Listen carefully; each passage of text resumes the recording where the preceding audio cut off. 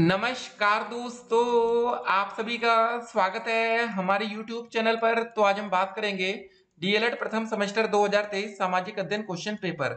जी हाँ दोस्तों 4 जुलाई 2023 पेपर की पूरी तैयारी देखेंगे और सभी लघुत्तरी प्रश्नों को हम इस वीडियो में देखने वाले पेपर में आपके 20 नंबर के लघुत्तरी प्रश्न आते हैं 15 नंबर के बहुविकल्पीय 15 नंबर के अति लघुत्तरी है। टोटल 50 नंबर का क्वेश्चन पेपर होगा, पास होने के लिए लाना पड़ेगा 25 नंबर। चलिए दोस्तों, वीडियो को शुरू करते हैं और वीडियो को अंत तक देखिएगा और पेपर में हमें एक अच्छा स्कोर भी करना है। तो दोस्तों, चलिए शुरू करते हैं आपके लघु उत्तरी प्रश्नों को। पहला प्रश्न कह रहा है कि इतिहास जानने के साधनों का वर्णन कीजिए। या दोस्तों क्वेश्चन ऐसे आ सकता है कि इतिहास, लेखन में सिक्के एवं अभिलेख किस प्रकार सहायक होते हैं, लिखना है। यह क्वेश्चन दोस्तों आपका 2019 में पूछा भी जा चुका है। चलिए दोस्तों, देखते हैं इसका उत्तर। विद्वानों ने जिन साधनों से इतिहास जानने का प्रयास किया है, वे निम्न है। पहला दोस्तों आपका आता है अनैतिहासिक ग्रंथ। अनैतिहासिक ग्रंथों के अंतर्गत भारत के अनेक प्राचीन धार्मिक ग्रंथ आते हैं। इन धार्मिक ग्रंथों में महत्वपूर्ण ऐतिहासिक घटनाओं का उल्लेख किया है। ये ग्रंथ निम्नलिखित इस प्रकार है। पहला दोस्तों, आपका आता है वैदिक साहित्य, दूसरा बौद्ध साहित्य, तीसरा जैन साहित्य। इसमें दोस्तों, वेद की बात करें तो वैदिक साहित्य में आता है ऋग्वेद, यजुर्वेद, सामवेद और अथर्वेद बौद्धिक साहित्य में दोस्तों, पहले चलिए वैदिक साहित्य देखते हैं पूरा। फिर बात आती ब्राह्मण आरडक्य, उपनिषद, वेदांत, पुराण और स्मृतियाँ। बौद्ध साहित्य में दोस्तों बात आती है आपकी जातक, पिटक, मिलिनंद, पहो दीपवंश महावंत, महावस्तु, ललित, विस्तर, बुद्ध चरित्र सौंदरावंत दिव्यावदान मंजुश्री मूल कल्प और लंकावतार। जैन साहित्य में दोस्तों आपका आता है परिशिष्ट पर्व, भद्र, बाहुचरित, आचार, अंग, सूत्र कालिका पुराण, भगवती सूत्र कथा कोश त्रिलोक प्रज्ञटिट लोक विभाग कथा कोश आराधना कथा कोश आवश्यक सूत्र और फिर दोस्तों, दूसरा बिंदु आता है आपका ऐतिहासिक ग्रंथ। कुछ ऐसे ग्रंथ है जिनमें हमें ऐतिहासिक घटनाओं का पता चलता है। यथा दोस्तों, जैसे आपका महाकाव्य हो गया, रामायण और महाभारत, ऐसे दो महाकाव्य हैं जो तत्कालीन सामाजिक एवं धार्मिक दशा पर काफ़ी काफ़ी प्रकाश डालते हैं। रामायण से हमें हिंदुओं एवं यवनों और शकों के संघर्ष का पता चलता है। महाभारत से हमें ब्राह्मण धर्म की स्थिति ज्ञात होती है। इसके साथ ही सितियन यूनानी एवं बैक्टीरियन जातियों का भी हमें पता चलता है। दूसरा दोस्तों, पॉइंट आता है आपका पुराण। भारतीय ऐतिहासिक कथाओं का सबसे अच्छा क्रमबद्ध विवरण पुराणों से में मिलता है। पुराणों की संख्या दोस्तों हमारी अठारह है, परंतु इनमें से केवल पाँच पुराण, मत्स्य, वायु, विष्णु, ब्रह्मांड और भागवत। ऐतिहासिक दृष्टि से विशेष महत्व रखते हैं। शेष में अधिकतर देवी देवताओं की कथाएँ, जो कालक्रम में दृष्टिकोण से नितांत ब्रह्म सूचक है। तीसरा दोस्तों बिंदु आपका आता अर्थशास्त्र। कौटिल्य का अर्थशास्त्र तथा पतंजलि के महाभाष्य ग्रंथों का विशेष महत्व है, क्योंकि ये भारत के कालक्रम में उद्वेलित सागर में लंगर का काम देते हैं। इनमें प्राप्त सूचनाएँ अधिक विश्वसनीय है। चौथा बिंदु दोस्तों आपका हर्ष चरित्र है। बाढ़ ने हर्षचरित की रचना लगभग 620 ईस्वी में की थी। इसमें तत्कालीन इतिहास एवं प्राचीन कथाओं का संग्रह है। इसमें बाढ़ ने न केवल अपने आश्रयदाता कन्नौज के राजा हर्ष का चरित्र चित्रण किया है, वरन सातवीं शताब्दी के भारत की राजनीतिक, सामाजिक, आर्थिक एवं धार्मिक दशा पर भी प्रकाश डाला है। पांचवा दोस्तों आता है आपका राज तरंगिणी। कल्लड़ की राज तरंगिणी प्रथम ऐसा ग्रंथ है जिनमें मतलब जिसे पूर्ण रूप से ऐतिहासिक कहा जा सकता है। इसकी रचना ग्यारह ईस्वी में शुरू की गई थी। इसमें कल्लड़ ने काश्मीर में राजवंश का वर्णन किया है। छठा पॉइंट है, दोस्तों, आपका दीपवंश एवं महावंश। बौद्ध साहित्य में सर्वाधिक महत्वपूर्ण ऐतिहासिक ग्रंथ दीपवंश तथा महावंश है। इन दोनों में सिन्हल्लदी कर प्राचीन क्रमबद्ध इतिहास है। इसके साथ ही मौर्य सम्राट अशोक तथा उसके वंश के संबंध में इन ग्रंथों से पर्याप्त ज्ञान प्राप्त हो जाता है। फिर तीसरा, दोस्तों, बिंदु आपका विदेशी विवरण है। अत्यंत प्राचीन काल से भारत का विदेशों से के साथ मतलब अत्यंत अत्यंत घनिष्ठ व्यापारिक, राजनीतिक तथा सांस्कृतिक संबंध रहा है। विदेशी लेखकों लेखकों और यात्रियों ने भी भारत के विषय में बहुत कुछ लिखा है। इन विदेशी लेखकों में यूनानी, रोम, चीन, तिब्बत तथा फारस देश के निवासी थे। यथा दोस्तों, आपके यूनानी लेखक। यूनानी लेखकों में सर्वप्रथम हेरोडोटस तथा टेसियस। हेरोडोट्स ने पांचवी शताब्दी ईसा पूर्व के पूर्व भारत तथा भारत राज्य के संबंध में लिखा था। टेसियस एक डॉक्टर था तथा उसे यात्रियों द्वारा प्राप्त आश्चर्यजनक कहानियों के संग्रह करने का बड़ा चाव था। इसी क्रम में यूनानी लेखक मेगस्थनीज सिल्यूकस का राजदूत था। वह चंद्रगुप्त मौर्य के दरबार में आया था। मेगस्थनीज ने अपनी प्रसिद्ध पुस्तक इंडिका में भारतीय संस्थाओं, भूगोल तथा उत्पत्ति के संबंध में लिखा है। फिर दोस्तों, दूसरा पॉइंट आता है आपका चीनी लेखक। चीन का भारत के साथ प्राचीन काल से व्यापारिक तथा सांस्कृतिक संबंध रहा है। चीनी यात्री फायान तीन सौ निन्यानवे ईस्वी में भारत आया और उसने लगभग पंद्रह वर्ष तक भ्रमण करने के पश्चात अपने देश लौटकर अपनी यात्रा का वर्णन किया। इसी प्रकार चीनी यात्री हिंसांग का भी बहुत ऊँचा स्थान है। हर्ष, यह हर्षवर्धन के शासनकाल में भारत आया था। उसने अपनी यात्रा को वर्णन पाश्चात संचार के लेख में किया है। ठीक है दोस्तों, उसके बाद हम बात करेंगे तिब्बत के लेखक आपके आगे। तिब्बत के लामा तारानाथ ने ग्रंथ के ग्रंथ मौर्य काल के उपरांत के इतिहास को जानने में बड़े सहायक सिद्ध होते। इनके बिना शक पार्थियन एवं कुषाण लोगों के भ्रमण का पता नहीं चलता तथा बौद्ध धर्म के इतिहास की पूर्ति इनके बिना नहीं हो सकती थी। चौथा बिंदु दोस्तों, मुसलमान लेखक। इन लेखों में अलबुरूनी का प्रमुख स्थान है। यह महमूद गजनबी के आक्रमण के समय भारत आया था। उसने तहकीकाते हिंद में भारतवर्ष और यहाँ के लोगों की स्थिति का वर्णन किया है। यह पुस्तक एक हज़ार ईस्वी में लिखी गई थी। इसमें हिंदुओं के रीति रिवाज विवाह तथा साहित्य का अच्छा वर्णन है। फिर दोस्तों, पांचवा बिंदु, मार्को पोलो। वेनिस का प्रसिद्ध यात्री मार्को पोलो बारह सौ चौरानवे पंचानवे ईस्वी के लगभग दक्षिण भारत में आया था। इनके विवरण भारत की न केवल राजनीतिक, सामाजिक तथा धार्मिक दशा पर प्रकाश डालते हैं, वरन तिथियों की क्रमबद्धता में भी सहायता पहुंचाते हैं। फिर दोस्तों, चौथा बिंदु आपका आता है अभिलेख। प्राचीन भारत के इतिहास को जानने के लिए अभिलेख सबसे अधिक महत्वपूर्ण एवं विश्वसनीय साधन है। अभिलेखों को हम दो भागों में विभक्त कर सकते हैं, यथा देशी एवं विदेशी अभिलेख। देशी अभिलेख को हम पूरा दो भागों में विभक्त कर सकते हैं, अशोक के अभिलेख एवं अशोक के बाद के लेख। तो सबसे पहले दोस्तों देखेंगे हम लोग अशोक के अभिलेख। अशोक ने संपूर्ण राज्य में शिलाओं तथा स्तंभों पर लेख लिखवाए थे। ये लेख राजा ज्ञागो तथा घोषणाओं के रूप में पाए जाते हैं। यह लेख अशोक के जीवन एवं व्यक्तित्व पर प्रकाश डालते तत्कालीन इतिहास जानने में सहायक है। यह खरोष्टी एवं ब्राह्मी लिपि में लिखे गए फिर दोस्तों, दूसरा पॉइंट आता है आपका अशोक के बाद के अभिलेख। अशोक के बाद के अभिलेखों को हम दो भागों में विभक्त कर सकते हैं। सरकारी तथा गैर सरकारी। सरकारी लेख प्रधानतः परिस्थितियों तथा अथवा भूमिदानों के रूप में पाए जाते हैं। परिस्थितियाँ राज कवियों द्वारा सम्राटों की प्रशंसा में लिखी गई है। गैर सरकारी लेखों की संख्या सरकारी लेखों की कहीं? ठीक, सरकारी लेखों से कहीं अधिक है। इनमें सामाजिक, धार्मिक एवं राजनीतिक दशा पर प्रकाश पड़ता है। तीसरा बिंदु दोस्तों, विदेशी लेख है। विदेशी लेख एशिया माइनर में, बोक जकोई के लेख में। वैदिक देवताओं का उल्लेख है। इस लेख से भारत में प्रवेश करने के पूर्व आर्यों के पर्यटन का पता चलता है। फिर दोस्तों, पांचवा बिंदु देखते मुद्रा। प्राचीन भारत के इतिहास का ज्ञान प्राप्त करने में मुद्राओं से बड़ी सहायता मिलती है।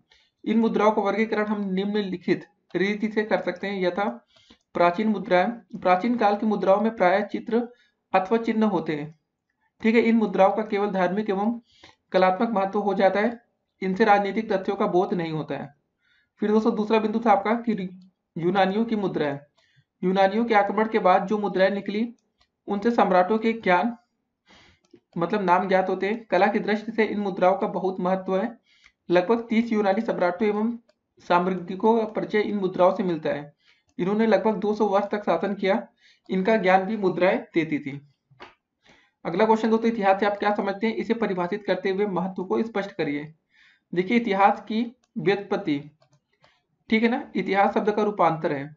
मतलब इतिहास हिस्ट्री शब्द का रूपांतर है। हिस्ट्री शब्द की उत्पत्ति लैटिन धातु हिस्टोरिया से हुई है। हिंदी में इसका अर्थ है वास्तविक रूप से घटा हुआ।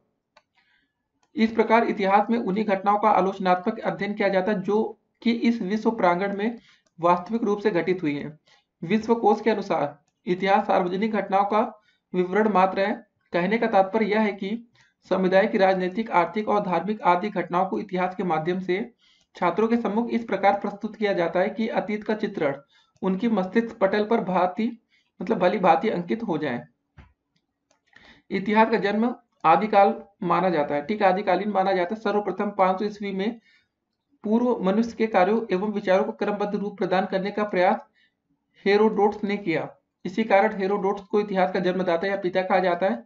इतिहास को प्रमुख विद्वानों ने निम्नलिखित रूप में परिभाषित किया है। ठीक है, इसको दोस्तों चलिए देखते हैं। इतिहास की परिभाषाएँ तो विद्वानों ने इतिहास के संबंध में पृथक पृथक परिभाषाएँ दी है। प्रोफेसर घाटे के मतानुसार, वह हमारे संपूर्ण अतीत का पूर्व मतलब पूर्ण विवरण एवं वैज्ञानिक अध्ययन है। अर्थात इतिहास, प्राचीन समय के राजनीतिक, सामाजिक, आर्थिक तथा धार्मिक आदि सभी पहलुओं का वैज्ञानिक अध्ययन है पंडित जवाहरलाल नेहरू के शब्दों में। आदि पाषाण युग से आधुनिक मानव संस्कृति तक मानव का विकास ही इतिहास का सार है। अर्थात इतिहास मानव की संस्कृति के विकास की कहानी मात्र है। प्रोफेसर कार के शब्दों में, महान इतिहास लेखक अतीत की कल्पना को वर्तमान के अंतदर्शन से दैदित्य करता हुआ आदर्श इतिहास प्रस्तुत करता है, अर्थात महान इतिहासकार अतीत के प्रकाश में वर्तमान की समस्याओं को हल करने का प्रयास करता है। फिर दोस्तों, बात होगी आपके रेपसन महोदय के अनुसार। इतिहास घटनाओं या उन्नत विचारों का एक सुशब्द विवरण है, अर्थात ऐतिहासिक घटनाओं को इस प्रकार प्रस्तुत किया जाता है कि अतीत का संपूर्ण ऐतिहासिक विवरण हमारे मस्तिष्क पटल पर क्रमबद्ध रूप से अंकित हो जाए। संक्षेप में इतिहास मानव जीवन के विकास का एक सुसंगठित सुशब्द एवं क्रमबद्ध अध्ययन है। फिर दोस्तों, हेनरी जॉनसन के अनुसार भूतकालीन घटनाओं का उल्लेख ही इतिहास है। ठीक ना, जोन्स महोदय के अनुसार इतिहास जीवन के अनुभव की एक खान है जो हमें वर्तमान को समझने में बड़ी सहायता प्रदान करती है। देखिए दोस्तों, कुछ ना कुछ आपको दिमाग में याद हो जानी चाहिए, नहीं तो कुछ ना कुछ आप पेपर में लिख के आएँगे। इतिहास की परिभाषा है तो दोस्तों, चाहे आप हिंदी जानतर के अनुसार लिखे, चाहे जोन्स के महोदय के, या आप के अनुसार दोस्तों, प्रोफेसर कार के शब्दों में, या पंडित जवाहरलाल नेहरू के शब्दों में, या प्रोफेसर घाट, जिसका भी नाम याद है, लिख के आना है। ठीक, उसके बाद दोस्तों क्या है? कि आपका उपयुक्त परिभाषाओं के आधार पर इतिहास का अर्थ अथवा इतिहास क्या है, यह स्पष्ट हो जाता है। इतिहास सामाजिक जीवन का एक आवश्यक अंग है और समाज की रचना में इतिहास का महत्वपूर्ण योगदान रहा है। इतिहास का महत्व क्यों है? यह जानने के लिए निम्नलिखित बिंदुओं पर आपको विचार करना है। जीवन में सहायक है ज्ञान, वृद्धि के साधन है, मानसिक परिपक्वता, व्यापक दृष्टिकोण का विकास, व्यवहारिक जीवन में उपयोगी देश प्रेम की भावना को जागृत, वर्तमान को समझने में सहायक, विश्व बंधुत्व की भावना का विकास, सांस्कृतिक एवं सामाजिक गुणों का विकास। इतिहास का महत्व दोस्तों देखते हैं पहला बिंदु दोस्तों क्या इतिहास सामाजिक वातावरण को प्रकाशित करता है जिससे हम वर्तमान को समझ सकते हैं और भविष्य के बारे में निर्णय कर सकते हैं। दूसरा दोस्तों बिंदु, ऐतिहासिक तथ्यों को याद करने से छात्र की स्मरण शक्ति का विकास होता है। तीसरा पॉइंट है, विभिन्न राष्ट्रों, समाजों, संस्कृतियों, परंपराओं तथा संस्थाओं का ज्ञान प्राप्त होता है। चौथा पॉइंट दोस्तों, विभिन्न संस्कृतियों तथा सभ्यताओं के अध्ययन से कल्पना शक्ति का विकास होता है। पांचवा दोस्तों विभिन्न जातियों और समुदायों के पारस्परिक सहयोग से ही दस की उन्नति हुई है। इतिहास, भावात्मक और राष्ट्रीय एकता लाने में महत्वपूर्ण भूमिका निभाता है। छठा दोस्तों पॉइंट है, वर्तमान की प्रमुख समस्या। जीविका निर्वाह में इतिहास महत्वपूर्ण भूमिका निभाता है। इतिहास से हमें इस समस्या का समाधान भी मिलता है। फिर अगला क्वेश्चन दोस्तों हमारा क्या रहा? अपनी भारत यात्रा के दौरान मेगस्थनी द्वारा किए गए भारत के वर्णन को बिंदुसार कीजिए। तो दोस्तों मेगस्थनी 305 से दो सौ ईसा पूर्व मेगस्थनी यूनानी सम्राट सेल्यूकस का राजदूत बनकर चंद्रगुप्त मौर्य के दरबार में नौ वर्ष तक रहा। उसने अपनी पुस्तक इंडिका में चंद्रगुप्त मौर्य के प्रशासन एवं तत्कालीन सामाजिक तथा आर्थिक दशाओं का महत्वपूर्ण विवरण दिया। देखिए, उतना ही महत्व है। उसका उतना ही महत्व जितना कि कौटिल्य के अर्थशास्त्र का है। देखिए मेगा सनीज के विवरण के कुछ उल्लेखनीय बात इस प्रकार है। पहला दोस्तों पॉइंट, पाटलिपुत्र स्थित मौर्य राजप्रसाद, उतना ही भव्य था जितना ईरान की राजधानी में बना राजप्रसाद।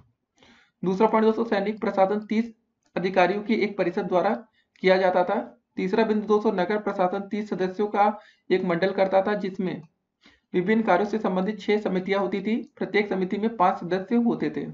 चौथा पॉइंट जहाज़ निर्माण महत्वपूर्ण उद्योग था, पांचवा, दास प्रथा नहीं थी, छठा, भवन लकड़ी के बनते थे। सातवां पॉइंट दोस्तों भारतीय समाज, सात जातियों में विभक्त था। उसने कुछ अन्य चीज़ों का भी वर्णन किया है, जो उसे आश्चर्यजनक लगे, जैसे, इस पेड़ की जड़ें तने से उगती है। ठीक है ना? इसकी छाया 400 लोग एक साथ रह सकते हैं, जिसका नाम दोस्तों बरगद था। दूसरा, बिना मधुमक्खी के साथ मिलता है गन्ने से। तीसरा, दोस्तों, ऊन, पेड़ों से उगती है कपास। और चौथा, दोस्तों, पक्षी, जो मनुष्य जैसे बोलता है, तोता। अगला क्वेश्चन दोस्तों, क्या था? पृथ्वी पर मानव की उत्पत्ति एवं विकास का परिचय आपको देना है। यह क्वेश्चन ऐसे आ सकता है कि आदि मानव से आधुनिक मानव तक की विकास प्रक्रिया में क्या क्या शारीरिक परिवर्तन हुए, आपको बताना है। तो पहले जीव की उत्पत्ति। देखिए, पृथ्वी पर जीव की उत्पत्ति कब और कैसे हुई, इसका उत्तर देना बड़े कठिन कार्य है। फिर भी वैज्ञानिकों के अनुसार पृथ्वी पर जीवन का विकास निम्न अवस्थाओं में हुआ है। पहला बिंदु दोस्तों सूक्ष्म तथा रीढ़ विहीन जीव की उत्पत्ति। आदि जीव की उत्पत्ति के संबंध में विद्वान अभी तक किसी एक निश्चित मत पर नहीं पहुँच सके, परंतु अधिकांश विद्वानों का मत है कि आज से लगभग 50 करोड़ वर्ष पूर्व पानी में जीव का जन्म हुआ। आदि जीव शैली के समान एक अत्यंत सूक्ष्म जीव था, उस पर कोई खाल और हड्डी नहीं थी। इसमें संभवतः वनस्पति और पशु दोनों के सूक्ष्म लवण विद्यमान थे। यह आदि जीव एक कोशिकीय था। इस जीव के उप विभाजन द्वारा ही अनेक जीव धीरे धीरे बढ़ते गए। दूसरा दोस्तों पॉइंट आपका आता है कि खोल युक्त एवं जल, स्थल, स्थलचर प्राणी। देखिए, करोड़ों वर्ष पूर्व के उपरांत इस प्रकार के प्राणियों का जन्म होना प्रारंभ हुआ, जिनके ऊपर आवरण अथवा खोल था। इस श्रेणी के प्राणियों में घोंगे खेकड़े जल बिच्छू और मछलियाँ सम्मिलित हैं।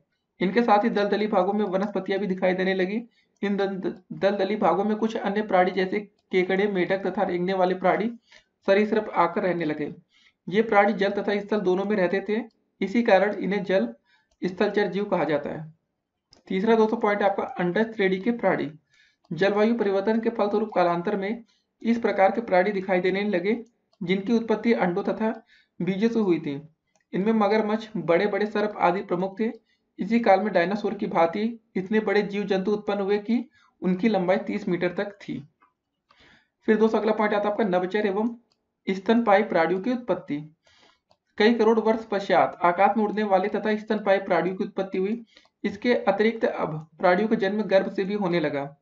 नवचर प्राणियों में चिबड़िया तथा स्तनपाई प्राणियों में नर वानर प्राइमेट प्रमुख हैं। बंदर, लंगूर और चिंपैंजी इसी श्रेणी में सम्मिलित किए जाते हैं। फिर दोस्तों पांचवा बिंदु आए मानव की उत्पत्ति। मानव के जन्म की कहानी बड़ी ही अद्भुत और रहस्यमय है। मानव बंदर या लंगूर का वंशज था या नहीं, एक विवाद का विषय है। इतना अवश्य है कि वह बंदरों आदि से काफ़ी मिलता जुलता था। आधुनिक विद्वानों का मत है कि प्राइमेट नर वानर से ही आज से लगभग पाँच लाख वर्ष पूर्व ऐसे प्राणी का जन्म हुआ जो मानव के समान था। धीरे धीरे ये प्राणी वृक्षों से उतरकर अपने पिछले पैरों पर खड़े होकर चलना सीख गए। और धरती पर ही रहने लगे।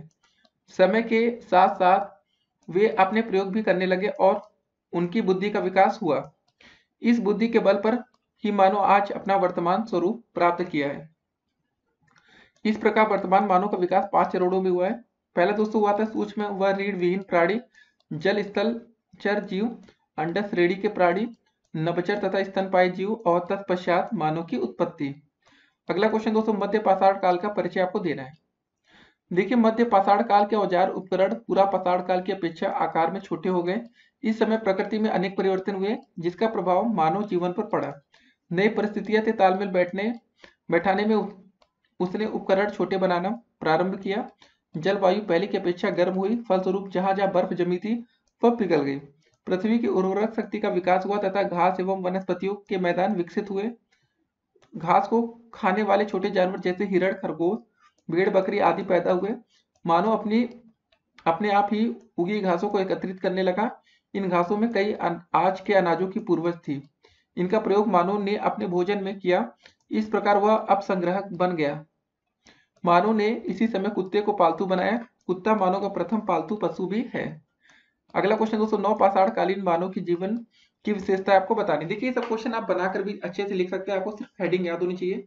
जैसे दोस्तों, नौ पाषाण काल के मानव की निम्नलिखित विशेषता है।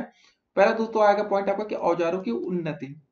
उत्खनन में अनेक स्थानों से सेल्ट कुल्हाड़ी adze polisher hammer stone fabricate slick stone नामक हथियार प्राप्त हुए। इस समय के हथियारों में चमकदार पालिश देखने को मिलती है। पहले के हथियारों की अपेक्षा यह सुव्यवस्थित एवं नुकीले, तीखे एवं सुंदर है। कुछ हथियारों में हड्डी एवं लकड़ी की मूठ भी प्राप्त हुई है। इस काल में पहिए एवं हथिया का भी प्रयोग होने लगा था।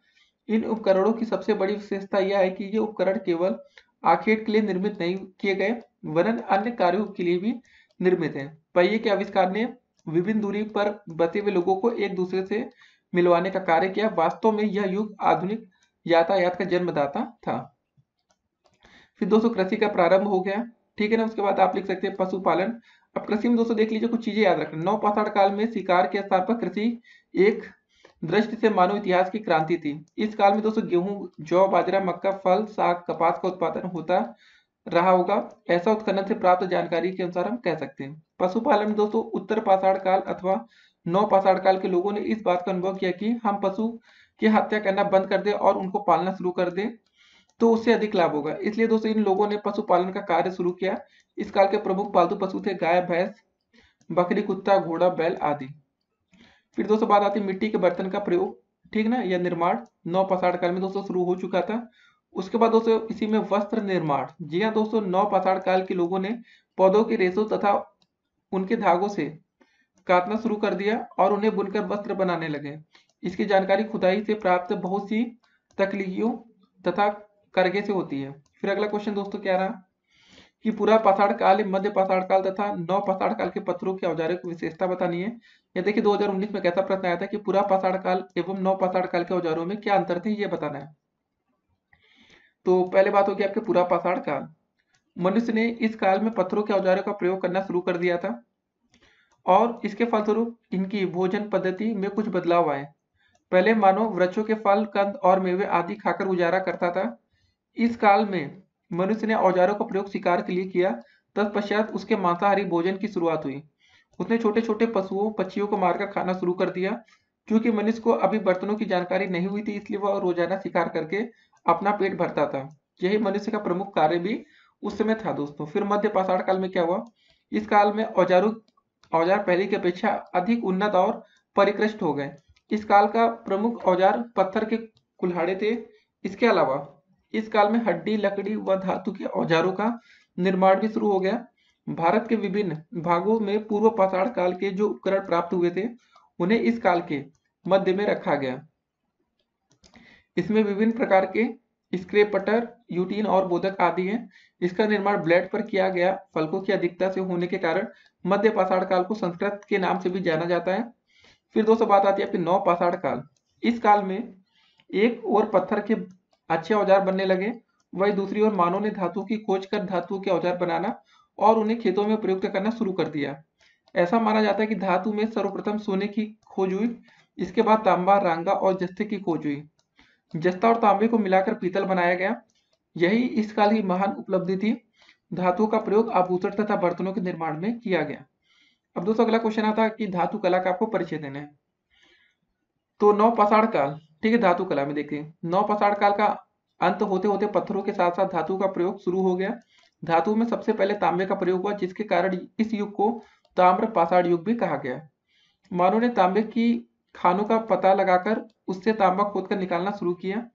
उच्च तापमान में तांबे को पिघलाना तथा साची की सहायता से धातु द्रव को विविध रूप देना भी उन्होंने सीख लिया।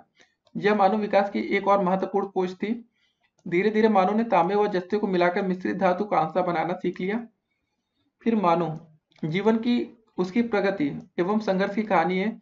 प्रारंभिक मानव ने अपनी समस्याओं से जूझते हुए अपने को जीवित रखा, अपनी उन्नति एवं अपने को सभ्य बनाया।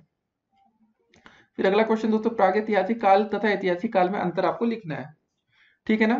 तो प्राग ऐतिहासिक तथा ऐतिहासिक काल का अंतर अग्र शीर्षकों के आधार पर स्पष्ट किया जा सकता है। पहला दोस्तों पॉइंट आता है आपका अर्थ संबंधी अंतर। प्राग ऐतिहासिक शब्द प्राग प्लस ऐतिहासिक से बना है, जिसका काल की जानकारी के लिए कोई लिखित व प्रमाणिक साधन उपलब्ध नहीं है। उसे प्राग ऐतिहासिक काल कहते हैं। दूसरी ओर जिस काल की जानकारी के लिखित और प्रमाणिक साधन उपलब्ध है, उसे दोस्तों हम ऐतिहासिक की संज्ञा देते हैं। इसको ध्यान में रखना है। प्रमाणिकता की दृष्टि से अंतर। ऐतिहासिक काल की विशेष सामग्री लिपिबद्ध है। वो, यह सामग्री पर्याप्त प्रमाणिक है। इसके विपरीत दोस्तों प्रागैतिहासिक काल की विशेष सामग्री का ज्ञान अनुमान पर आधारित है। ठीक है ना? अधिक आधारित है। अगला क्वेश्चन दोस्तों, लौह युग का संक्षिप्त आपको विवरण देना है। तो दोस्तों, इसका उत्तर कैसे लिखेंगे? ताम्र एवं कांस्य काल के पश्चात लौह युग का आरंभ होता है। लौह युग का आरंभ उत्तर तथा दक्षिण भारत में एक साथ नहीं हुआ। दक्षिण भारत में उत्तर पाषाण काल के बाद ही इसका प्रयोग आरंभ हुआ था। परंतु उत्तर भारत में ताम्र काल के बाद इसका प्रयोग आरंभ हुआ था। विद्वानों का मानना है कि उत्तर भारत में इसका प्रयोग ईसा से लगभग एक हज़ार वर्ष पूर्व आरंभ हुआ था। यह अनुमान भी लगाया कि लौह काल के लोग पामीर पठार की ओर से आए थे और धीरे धीरे महाराष्ट्र में बस गए। कालांतर में यह लोग मध्य प्रदेश के वनों को पाकर बंगाल की ओर चले गए, आए थे और धीरे धीरे महाराष्ट्र में बस गए। कालांतर में यह लोग मध्य प्रदेश के वनों को पार कर बंगाल की ओर चले गए। लौह से मनुष्य के जीवन का वैज्ञानिक विकास प्रारंभ हुआ और उसके जीवन में बहुत बड़े क्रांतिकारी परिवर्तन होने लगे। मनुष्य के जीवन को सुखमय बनाने तथा इसकी सभ्यता एवं संस्कृति की उन्नति में किसी अन्य धातु से उतनी नहीं मिली जितनी दोस्तों लौ से मिलती है। तो दोस्तों बात करेंगे आज का अगला प्रश्न। तो दोस्तों, अगला क्वेश्चन क्या रहा आपका? कि नदियों के किनारे सभ्यताओं के अभ्युदय के कारण आपको बताने तो बहुत ही अच्छा क्वेश्चन है। देखते हैं, संसार की मानव सभ्यताओं का विकास नदियों की घाटियों में ही क्यों हुआ था? वास्तव में नदियों की घाटियों में सभ्यताओं के विकसित होने के निम्नलिखित कारण थे। पहला कारण दोस्तों, नदियों की घाटियों की भूमि उपजाऊ होने के कारण वहाँ मनुष्यों और पशुओं के लिए भोजन तथा चारा पर्याप्त मात्रा में और सुगमता से मिलने लगा। दूसरा पॉइंट था नदियों के किनारे पर कृषि एवं दैनिक उपयोग के लिए पानी और मकान हेतु गीली मिट्टी सुलभ हुई। तीसरा कि नदियों के किनारे मनुष्य की खेती के लिए बिना किसी कठिनाई के सिंचाई के साधन भी उपलब्ध हो गए और नदियों ने उसे आवागमन की सुविधाएँ भी प्रदान की। चौथा पॉइंट है, दोस्तों, नदियों के किनारे की जलवायु ने भी मानव की अपनी सभ्यता व संस्कृति विकास का अवसर प्रदान किया। पांचवा पॉइंट है कि नदियों में प्रतिवर्ष बाढ़ आती थी, जिससे भूमि उपजाऊपन बढ़ जाता था। छठा पॉइंट दोस्तों, नदियाँ। नदी घाटियों में विभिन्न सुविधाएँ उपलब्ध होने से पहले गाँवों का और तत्पश्चात नगरों का विकास होने में भी सहायता प्राप्त हुई। इन सभी कारणों के फलस्वरूप ही विश्व की प्राचीनतम सभ्यताओं का विकास नदियों की घाटियों में ही हुआ। नदी घाटियों में विकसित होने के कारण इन सभ्यताओं को नदी घाटी की सभ्यता कहा जाता है। अगला क्वेश्चन दोस्तों की सिंधु घाटी की सभ्यता की आर्थिक, धार्मिक तथा नगरीय व्यवस्थाओं के विषय में तीन तीन पंक्तियाँ आपको लिखना है। सबसे पहले बात होगी आपकी आर्थिक दशा। कृषि। गेहूँ, जौ, कपास, राई, मटर, खजूर, अनार आदि की खेती की जाती थी पशुपालन में। कृषि के पश्चात दोस्तों पशुपालन सिंधु वासियों का प्रमुख पेशा था। ये लोग बैल, ऊट, भैंस, बेड़, गधे, बकरी, सुअर हाथी, कुत्ते, बिल्ली आदि पालते थे। व्यवसाय अस्त्र शस्त्र पात्र, वस्त्र, आभूषण, बढ़ई तथा शिल्प संबंधी व्यवसाय प्रचलन में थे। सिंधु वासियों के विदेशों से व्यापारिक संबंध थे। फिर दोस्तों आता नाप तौल के साधन। नाप तौल के लिए दोस्तों सीपी के टुकड़े तथा बासु के प्रयोग किया जाता था। अब अगला पॉइंट आता आपका धार्मिक दशा मात्र देवी की उपासना, शिव की उपासना, लिंग तथा योनि की उपासना, वृक्ष तथा पशुओं की उपासना, वृक्षों में पीपल, महुआ, तुलसी, पशुओं में कुबड़ वाला बैल तथा सांप की उपासना भी की जाती थी। फिर दोस्तों बात करेंगे आपके नगरीय व्यवस्था। सिंधु सभ्यता को नगरीय सभ्यता कहा जाता है क्योंकि यहाँ के नगरों का निर्माण सुनियोजित ढंग से किया गया था। सड़कें लंबी चौड़ी तथा एक दूसरे को समकोण पर काटती थी। नगर आधुनिक व्यवसायिक। ठीक दोस्तों, शैली पर निर्मित थे। अब बात आएगी दोस्तों आपका भवन निर्माण। सड़कों तथा गलियों के दोनों ओर भवनों का निर्माण एक पंक्ति में कच्ची तथा पक्की ईटों के द्वारा किया जाता था। भवन में रसोई घर, स्नान घर, आँगन तथा शौचालय का निर्माण किया जाता था। फिर दोस्तों बात आती है सार्वजनिक स्नानागार। उत्खनन के मोहनजोदड़ो में सर्वाधिक विशाल सार्वजनिक स्नानागार ग्रेट बाथ प्राप्त हुआ है। मतलब नहाते थे जान लो सिंधु घाटी की सभ्यता की प्रमुख विशेषता आपको बतानी है। मतलब पुराने शहर की खोज पहले दोस्तों सन 1921 की बात है, जब भारत में अंग्रेज़ों का राज था। इसी वर्ष पुरातत्ववादियों ने पंजाब प्रांत में हड़प्पा नामक स्थल से एक खंडहर की खोज की। इस खंडहर के अवशेषों के अध्ययन से पुरातत्वविदों को ज्ञात हुआ कि यह एक नगरीय सभ्यता के अवशेष है। इस प्रकार सिंधु प्रांत में एक और गाँव मिला जिसको लोग मोहनजोदड़ो कहते थे। मोहनजोदड़ो का मतलब है मृतक का टीला। यहाँ से नगरीय सभ्यता के अवशेष प्राप्त हुए क्योंकि यह अवशेष सिंधु घाटी में प्राप्त हुए थे, इसलिए इस सभ्यता को सिंधु घाटी नदी सभ्यता कहते हैं। हड़प्पा नामक स्थल से इस संस्कृति के अवशेष सबसे पहले मिले थे, इसलिए इसे हड़प्पा संस्कृति भी कहते हैं। पुरातत्वविदों ने इस स्थलों की विस्तृत खुदाई की तो नीचे दबा हुआ पूरा का पूरा शहर निकल आया। लोग नीचे उतरकर उसकी गलियों में घूमने लगे। उन्होंने देखा कि घरों में उतरने के लिए सीढ़ियाँ बनी है। मानो आज के घरों और शहरों के बीचों बीच। ठीक दोस्तों, चौड़ी सड़कें ऐसी जैसे आज शहरों में बनती हैं। इतना बड़ा शहर, यहाँ कितने लोग रहते होंगे? जब यह खोजबीन की गई तो पता चला कि यह दबा हुआ शहर बहुत ही पुराना है। आश्चर्य तो तब हुआ जब पता चला कि यह शहर चार पाँच हज़ार साल पुराना है। उस समय यह माना जाता था कि चार पाँच हज़ार साल पहले लोग खेती करके पशुपालक, पशुपालकर या शिकार आदि करके जीवन यापन करते थे।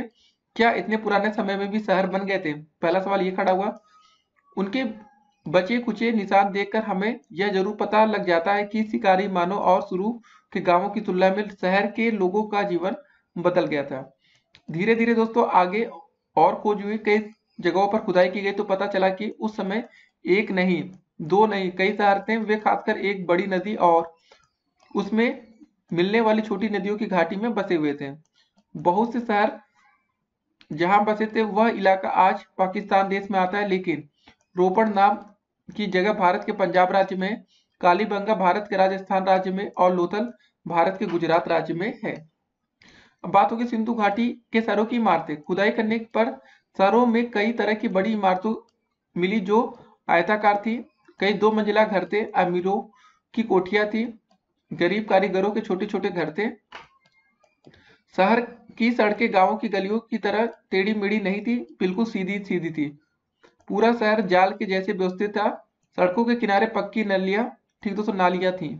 सोचिए उस समय पक्की नालियाँ। हर गाँव की नाली बड़े नालों से मिल जाती थी। सिंधु घाटी के शहरों की खुदाई में पक्के घरों के अलावा बड़े बड़े गोदाम मिले। आसपास के गाँव में अनाज एकत्रित करके इन्हीं गोदामों में रखा जाता रहा होगा उस समय दोस्तों।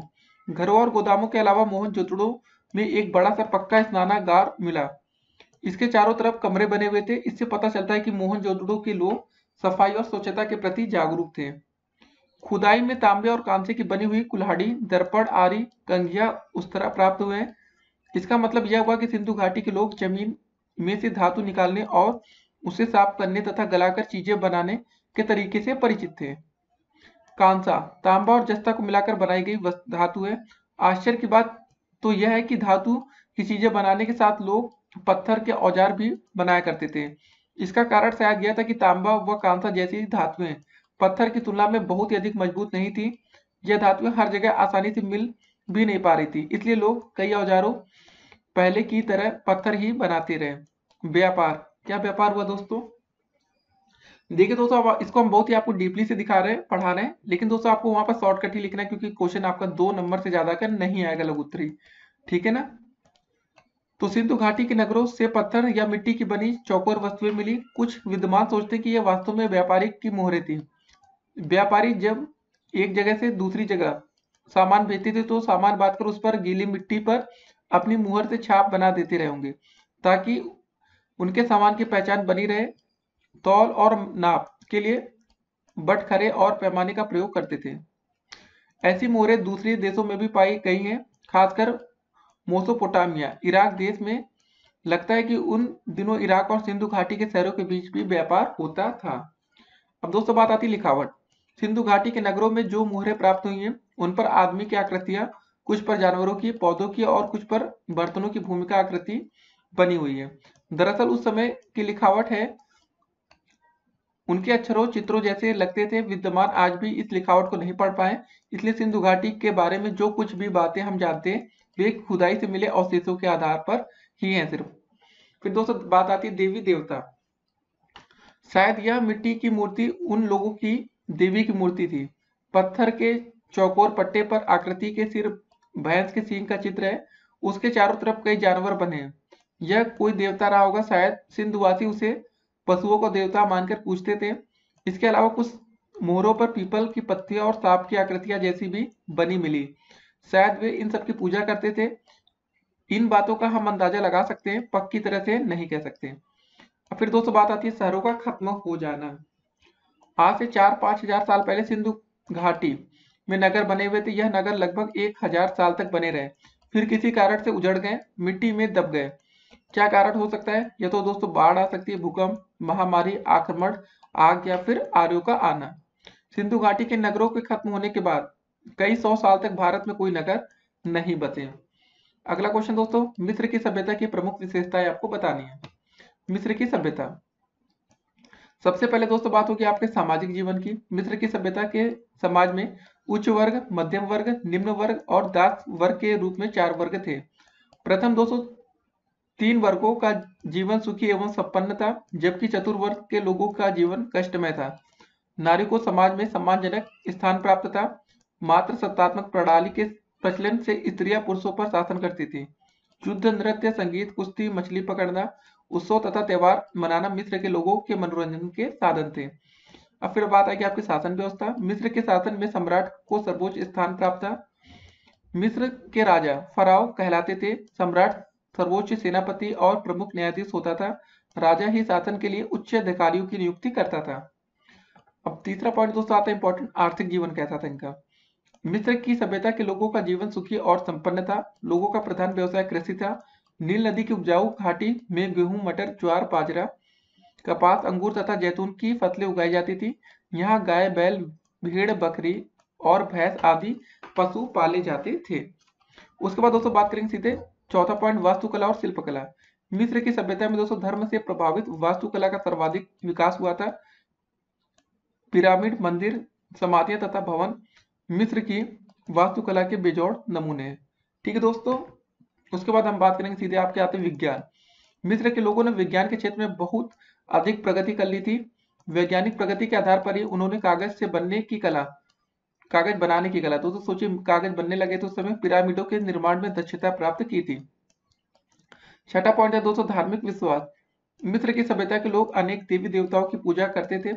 हॉरस और एटन इनके सबसे बड़े प्रमुख देवता थे। ये लोग पृथ्वी, आकाश, देवता और चंद्रमा की उपासना भी करते थे। इनके पिरामिड पुनः जन्म में इनकी पक्की आस्था के प्रतीक थे। अबू सिंबल और कोनार्क के मंदिर इनके पूजा स्थल थे। स्पंस की मूर्ति, मूर्तिकला तथा उत्कृष्ट नमूना है। अगला क्वेश्चन दोस्तों मिस्र सभ्यता को नील नदी का वरदान क्यों कहा जाता है? जी हाँ दोस्तों, इस क्वेश्चन को आपने काफ़ी बार सुना भी होगा। तो चलिए देखते हैं आज इसके उत्तर को, कि विश्व की प्राचीन सभ्यताओं का विकास नदियों की घाटियों से ही हुआ था। मिस्र में भी सभ्यता का विकास वहाँ की प्रमुख नदी, नील नदी के किनारे ही हुआ था। मिस्र अफ्रीका महाद्वीप के उत्तरी पूर्वी भाग में स्थित है। मिस्र के उत्तर में भूमध्य सागर तथा पूर्व में लाल सागर है। मिस्र के दक्षिण पश्चिमी में रेगिस्तान है। मिस्र के बीच में नील नदी बहती है, जो मिस्र की भूमि को उपजाऊ बनाती है। मिस्र में नील नदी का विशेष महत्व क्योंकि मिस्र के निवासियों के पीने योग्य जल यही नदी के उपलब्ध कराती मतलब यहीं से सभी लोग पानी पीते थे। मिस्र वासियों ने इस नदी के से नहरें भी निकाली, जिनसे मिस्र के प्रत्येक क्षेत्र को जल की आपूर्ति होती है। यदि नील नदी मिस्र में ना होती तो मिस्र का सारा क्षेत्र रेगिस्तान हो जाता। अतः मिस्र के निवासी नील नदी की पूजा भी करते थे। इसी कारण मिस्र की नील नदी मतलब मिस्र को नील नदी का वरदान कहा जाता है। तो दोस्तों, अगला प्रश्न क्या रहा है कि मिस्र की सभ्यता में मिले पिरामिडों को वर्णन करिए। यह देखिए 2019 में कैसा प्रश्न पूछा गया था कि गीजा का पिरामिड संसार के आश्चर्यजनक स्मारकों में क्यों गिना जाता है? तो दोस्तों, चलिए इसका उत्तर को देखते हैं कि मिस्र का सबसे प्रसिद्ध पिरामिड गीजे का पिरामिड है। गीजे का पिरामिड दो लाख ठोस पत्थरों के टुकड़ों से बनाया गया है। प्रत्येक पत्थर का वज़न लगभग ढाई टन है। पिरामिड के ऊंचाई एक मीटर है और धरातल पर हर भुजा की लंबाई 230 मीटर है। इस पिरामिड को बनाने में एक लाख बीस हज़ार आदमियों के 20 वर्ष तक कार्य किया था। पिरामिड के नीचे पृथ्वी में बड़े बड़े कमरे बने हुए हैं। इनमें से एक कमरे में सम्राट पेर ओ खाप्र का शव रखा गया था। वास्तुकला की दृष्टि से इसे अजूबा स्मारकों में गिना जाता है। इनमें शवों के साथ साथ प्रयोग में आने वाली इनकी बहुमूल्य वस्तुएँ को भी रखा जाता था। इन पिरामिड की दीवारों पर कई प्रकार के सुंदर चित्र हैं, जिनसे मिस्र की सभ्यता से संबंधित अनेक जानकारी प्राप्त होती है।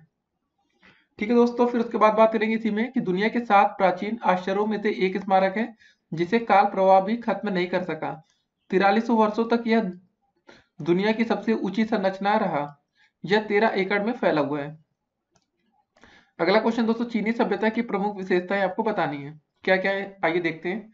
देखिए, चीन की सभ्यता विश्व के अनेक देशों के समान हांगो नदी की घाटी में विकसित हुई थी। इस सभ्यता की प्रमुख विशेषताएँ निम्नलिखित है।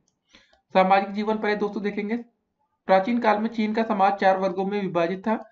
पहला बुद्धिजीवी वर्ग, दूसरा व्यापारी वर्ग, तीसरा कारीगर एवं कलाकार वर्ग, चौथा दोस्तों कृषक एवं मजदूर वर्ग।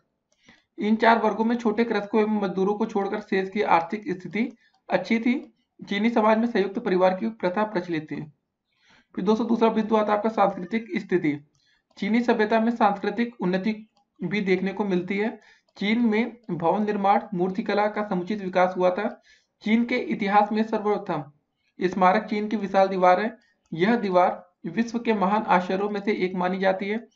तीसरा पॉइंट दोस्तों, धार्मिक जीवन। चीन की सभ्यता के प्रारंभ में धर्म का विशेष महत्व नहीं था, किंतु चीनी लोग सर्वोच्च शक्ति की पूजा करते थे, जिसे वे संगति भी कहते थे। संगति का अर्थ स्वर्ग का देवता होता है। चीनी राजा को संगति का पुत्र माना जाता था। इसी कारण उसकी पूजा भी की जाती थी। चौथा पॉइंट आपका आर्थिक जीवन है, फिर बात करेंगे। विज्ञान का विकास। देखिए दोस्तों, ये सब आप बना के लिख सकते हैं किसी का भी, अगर आपको समझ में नहीं आ रहा उस समय। तो विज्ञान दोस्तों, देखिए ज़रूरी है कि वैज्ञानिक दृष्टि से चीन ने महत्वपूर्ण उपलब्धियाँ हासिल की थी। चीन में कागज़ व छपाई का आविष्कार इसी काल में किया गया था। भूकंप के विषय में पता लगाने वाले सिस्मोग्राफ का भी चीनियों ने आविष्कार किया था। इसके अतिरिक्त समुद्री कंपास को भी उन्होंने तैयार किया था।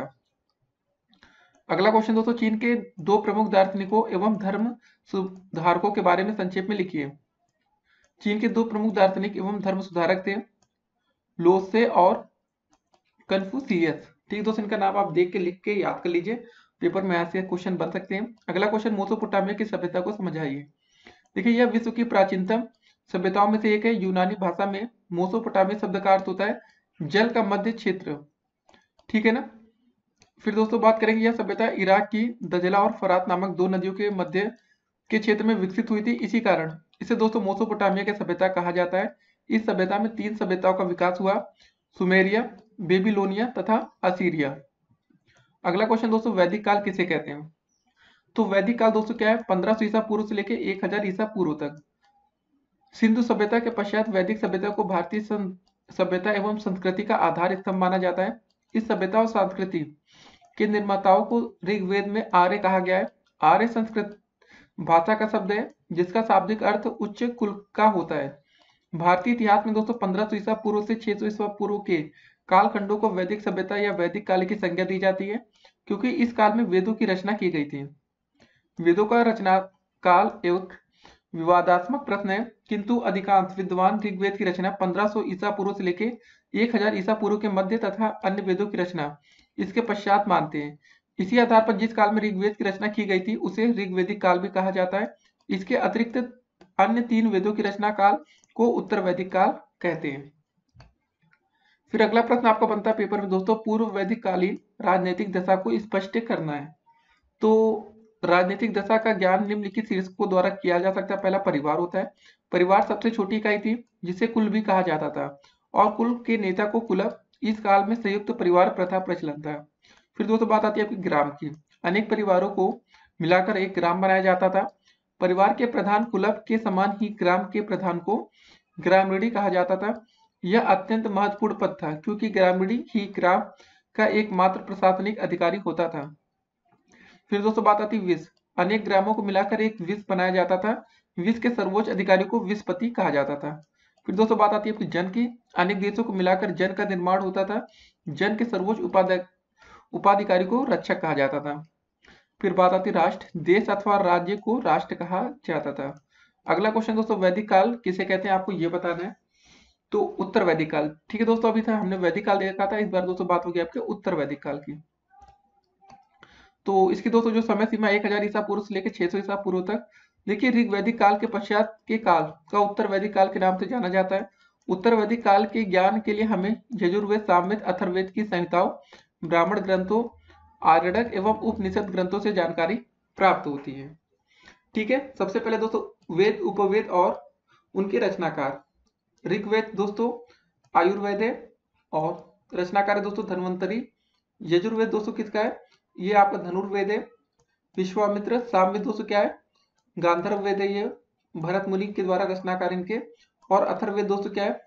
सल्प शास्त्र विश्वकर्मा के रचनाकार।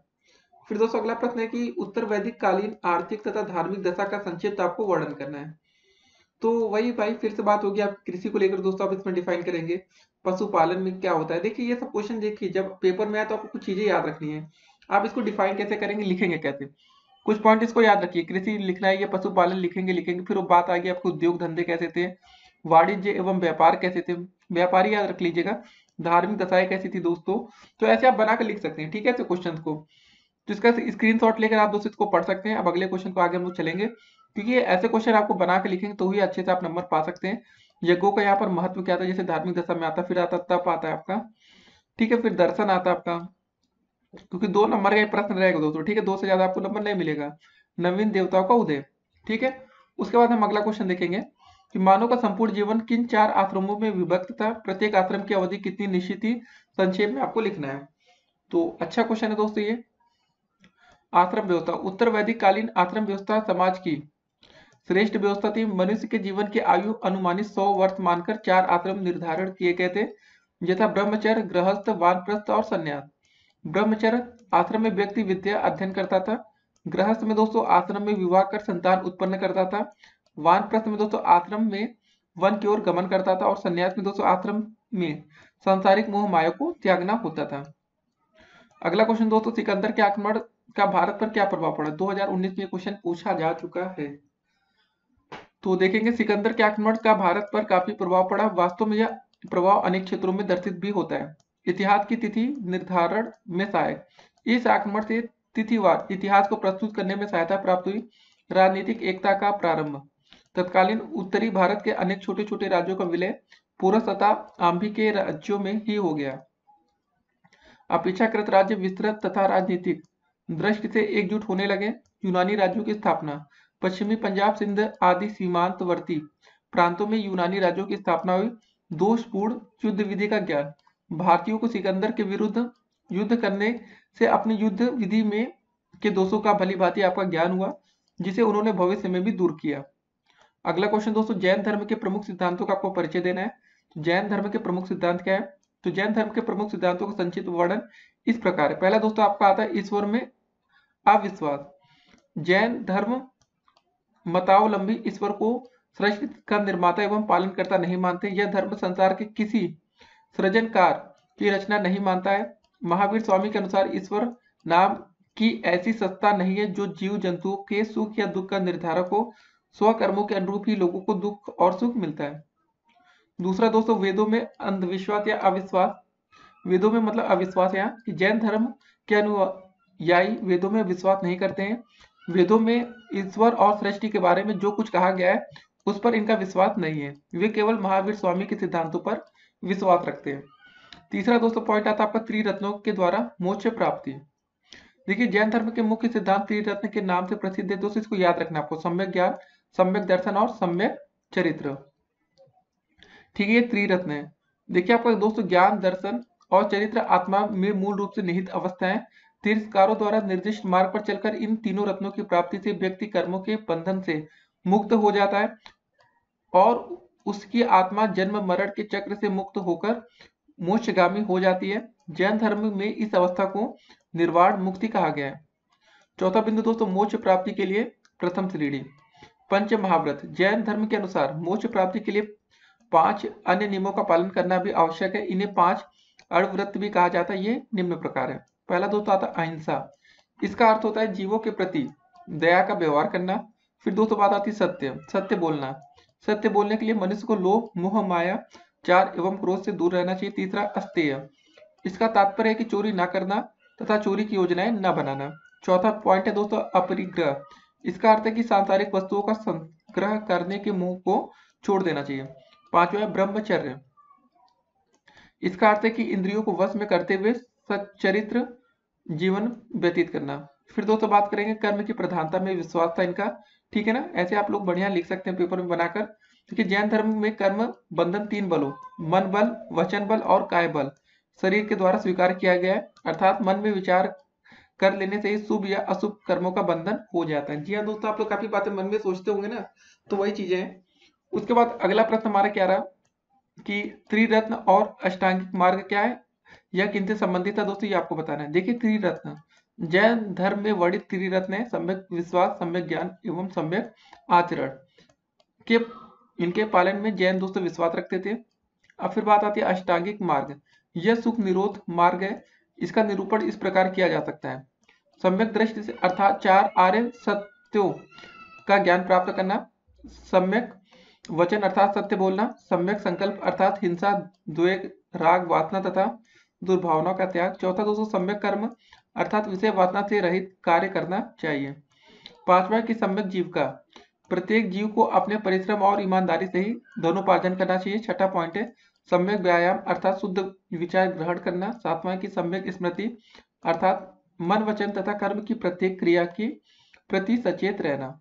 आठवां की सम्यक समाधि, अर्थात चरित्र की एकाग्रता। फिर दोस्तों अगला क्वेश्चन क्या है कि बौद्ध धर्म के संस्थापक कौन थे? ये आपको बताना देखिए, इसमें आपको पूरा एक्सप्लेन करना होगा। ये नहीं कि खाली आप उनका नाम लिख दीजिए, दो नंबर आपको ऐसे नहीं मिलेगा। तो चलिए दोस्तों पढ़ते हैं, देखते हैं। कि छठी शताब्दी ईसा पूर्व में प्राचीन भारत में शाक्य गढ़ राज्य कपिल वस्तु के राजा। सुद्धोधन के पुत्र गौतम सिद्धार्थ, बुद्ध ने बौद्ध धर्म का प्रतिपादन किया। ज्ञान की प्राप्ति के बाद गौतम बुद्ध ने लगभग चौवालीस वर्ष तक अपने धर्म का प्रचार किया। सम्राट अशोक और सम्राट कनिष्क ने बौद्ध धर्म को संरक्षण प्रदान किया और इनके विचार के लिए विदेशों में भी अपने धर्म प्रचारक भेजे। गौतम बुद्ध की मृत्यु के बाद यह धर्म भी संप्रदायों के हीनयान और महायान में बढ़ गया। बौद्ध धर्म का पवित्र ग्रंथ त्रिपिटक है, जिसे गौतम बुद्ध ने धार्मिक उपदेश संग्रहित है। ठीक है ना? फिर उसके बाद दोस्तों हमारा अगला प्रश्न क्या रहा? कि बौद्ध धर्म के उदय के प्रमुख कारण आपको बताने हैं कि बौद्ध धर्म उदय कैसे हुआ? क्या क्या चीज़ें थी? देखिए दोस्तों, बौद्ध धर्म के उदय के प्रमुख कारण छठी शताब्दी ईसा पूर्व में भारत में बौद्ध धर्म ने अपने प्रमुख कारण निम्नलिखित है देखिए, पहले वैदिक धर्म की जटिलता। छठी शताब्दी ईसा पूर्व वैदिक धर्म पर्याप्त जटिल हो गया था। इसके अंतर्गत पाखंडवाद और अंधविश्वासों का बोलबाला होने से साधारण जनता एक सीधे और सरल धर्म की प्रतीक्षा करने लगी थी। दूसरा दोस्तों यज्ञों तथा कर्म कर्मकांडों की बहुलता। इस समय धर्म पर ब्राह्मणों का प्रभुत्व स्थापित हो गया था। उनके द्वारा प्रचलित दीर्घकालीन यज्ञों तथा जटिल कर्मकांडों से जनता उब चुकी थी, अतः वह उनसे उबरने के लिए प्रयास कर रही थी। तीसरा, दोस्तों, जाति प्रथा की कठोरता। इस काल में जाति प्रथा अत्यधिक कठोर हो चुकी थी। समाज में शूद्रों की स्थिति बड़ी सोचनीय थी और धर्म के क्षेत्र में उनका कोई स्थान नहीं था। अतः निम्न जातियों के लोग ने एक नए धर्म की खोज में लगे थे। फिर अगला क्वेश्चन दोस्तों, मौर्य समाज के पतन के क्या कारण थे? आपको बताना है। तो वंशानुगत साम्राज्य तभी तक बने रहते हैं जब तक योग्य शासकों की कड़ी बनी रहती है। अशोक के दुर्बल उत्तराधिकारियों के कारण दूरस्थ प्रांत स्वतंत्र होने लगे, देश पर विदेशी आक्रमण होने लगे। धीरे धीरे साम्राज्य की शक्ति कमज़ोर होती गई। पुष्यमित्र सुंग, जो मौर्य साम्राज्य में सेनापति था, ने मौर्य साम्राज्य पर कब्जा कर लिया। इस प्रकार मौर्य साम्राज्य का पतन हो गया। अगला क्वेश्चन दोस्तों सौर मंडल से आपका क्या तात्पर्य है, ये आपको बताना है। देखिए, जिस प्रकार आपका अपना परिवार है, जिसमें दादा, दादी, मम्मी, पापा, भाई, बहन आदि है, उसी प्रकार दोस्तों सूर्य का भी अपना परिवार है। सूर्य अपने परिवार का मुखिया है और अपने परिवार के सभी सदस्यों को उष्मा व प्रकाश देता है। ग्रह, उपग्रह, क्षुद्र ग्रह और उल्का पिंड इस परिवार के सदस्य हैं। सूर्य के मुखिया होने के कारण इस परिवार को सौर परिवार या सौर मंडल कहते हैं। हमारे सौर मंडल में दोस्तों आठ ग्रह बुद्ध शुक्र, पृथ्वी, मंगल, बृहस्पति, शनि अरुण तथा वरुण अगला क्वेश्चन दोस्तों उल्का पिंड क्या होता है? देखिए, सूर्य के चारों तरफ़ चक्कर लगाने वाले पत्थर के छोटे छोटे टुकड़ों को उल्का पिंड कहते हैं, ये कभी कभी पृथ्वी के इतने निकट आ जाते हैं कि पृथ्वी के वायुमंडल के साथ रगड़ कर जलने लगते हैं और जलकर पृथ्वी पर गिर जाते हैं। इस प्रक्रिया में चमकदार प्रकाश उत्पन्न होता है। अगला क्वेश्चन दोस्तों, क्या है? नीला ग्रह किसे कहते हैं? और इसे नीला ग्रह क्यों कहा जाता है, ये भी बताना है। तो ये ऐसा क्वेश्चन बन सकता है कि पृथ्वी को नीला ग्रह क्यों कहते हैं? देखिए, हमारी पृथ्वी जिस पर हम निवास करते हैं, भी एक ग्रह है। यह दूरी के क्रम में सूर्य से तीसरे स्थान पर है। आकार में सौर मंडल का पांचवा सबसे बड़ा ग्रह है। यदि पृथ्वी सूर्य के अधिक निकट होती तो बहुत अधिक ताप के कारण यहाँ जीवन संभव नहीं होता। यदि अधिक दूरी पर होती, ठीक है दोस्तों तो अधिक ठंड के कारण यहाँ कोई जीवधारी ना होता। मतलब दोस्तों, ज़्यादा दूरी पर होता तो भी दिक्कत है दिक्कत है, और ज़्यादा पास होता तो भी दिक्कत होती। पृथ्वी एकमात्र ऐसा ग्रह जहाँ पर जीवन है। जीवन के लिए उपयुक्त दशाएँ केवल हमारी पृथ्वी पर ही उपलब्ध है। इस दृष्टि से हमारी पृथ्वी सौर मंडल में अनोखी है। पृथ्वी पर जल की मात्रा अधिक है। इस कारण अंतरिक्ष से देखने पर यह नीले रंग की दिखाई देती है। इसलिए दोस्तों पृथ्वी को हम नीला ग्रह भी कहते हैं। अगला क्वेश्चन दोस्तों, क्या सौर मंडल में सूर्य की स्थिति क्या है, ये बताना है। देखिए, सूर्य हमारे सौर मंडल का तारा है। यह सौर मंडल के केंद्र में स्थित है और सभी ग्रह, उपग्रह व क्षुद्र ग्रह निरंतर इसके चक्कर लगाते रहते हैं। सूर्य, हाइड्रोजन, हीलियम जैसी बहुत सी गर्म गैसों से बना है, जो लगातार जलती रहती है। ठीक है दोस्तों, याद रखना है किससे बना आपका सूर्य? Hydrogen, helium. देखिए सौर मंडल में सूर्य ही प्रकाश व ऊर्जा का एकमात्र स्रोत है। सूर्य हमारी पृथ्वी से लगभग 15 करोड़ किलोमीटर दूर है। इस कारण इसका प्रकाश आठ दशमलव तीन मिनट में पृथ्वी तक पहुँचता है। और प्रकाश की चाल दोस्तों कितनी है आपकी? तीन लाख किलोमीटर प्रति सेकंड। सोचिए स्पीड कितनी तेज़ी से प्रकाश सूर्य से पृथ्वी तक आता है। अगला क्वेश्चन दोस्तों क्या है? सूर्य ग्रहण की स्थिति कब होती है? तो अमावस्या के दिन दोस्तों सूर्य और पृथ्वी के बीच चंद्रमा आ जाता है।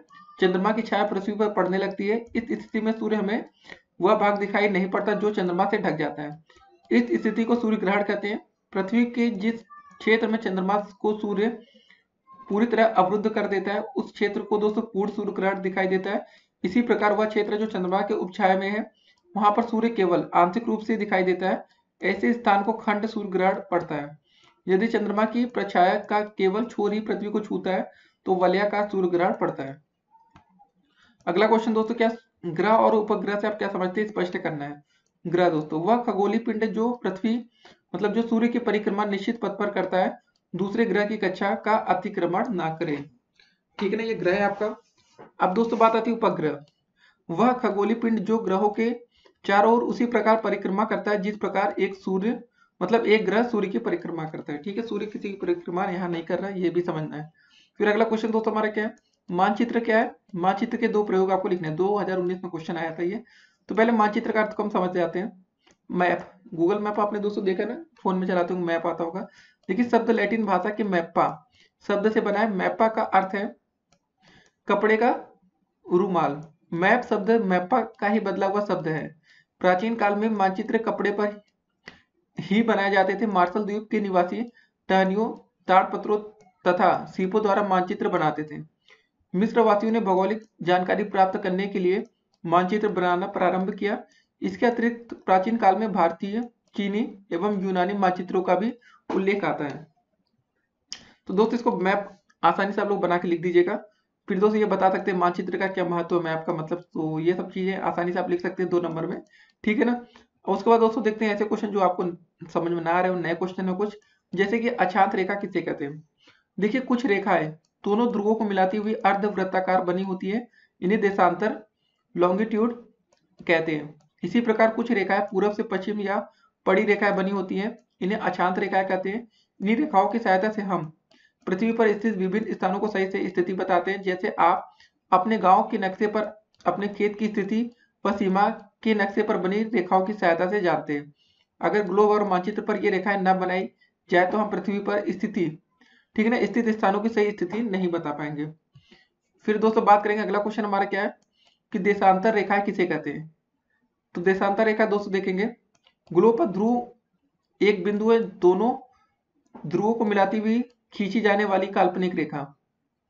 ठीक है, को देशांतर रेखा कहते हैं। ये रेखा ग्लोब पर अर्धवृत्त बनाती है। ध्रुव बिंदु के चारों ओर अधिकतम 360 डिग्री का कोण बन सकता है। अतः देशांतर रेखाओं की कुल संख्या 360 होती है। इन्हें डिग्री के अंतराल पर अगर खींचा जाए तो ग्लोब पर कुल 360 देशांतर रेखाएँ खींची जा सकती हैं। अब दोस्तों देखते हैं आज का अगला प्रश्न। तो दोस्तों अगला क्वेश्चन क्या रहा आपका? कि अंतरराष्ट्रीय तिथि रेखा किसे कहते हैं? या ऐसे क्वेश्चन आ सकता है, कर्क रेखा व मकर रेखा से आप क्या समझते हैं? देखिए क्वेश्चन 2019 में पूछा जा चुका है। या दोस्तों इस प्रश्न को इस तरह पूछा जा सकता है कि किस देशांतर रेखा को अंतरराष्ट्रीय तिथि रेखा कहते हैं?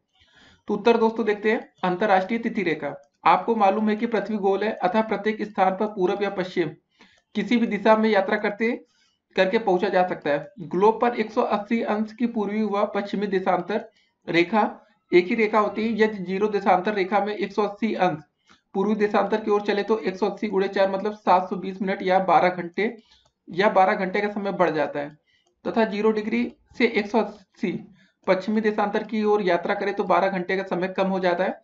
अतः 180 अंश पूर्वी देशांतर को ग्रीनविच ज़ीरो देशांतर रेखा होते हुए 180 अंश पश्चिमी देशांतर तक यात्रा करने पर 24 घंटे या एक दिन के समय का अंतर आ जाएगा।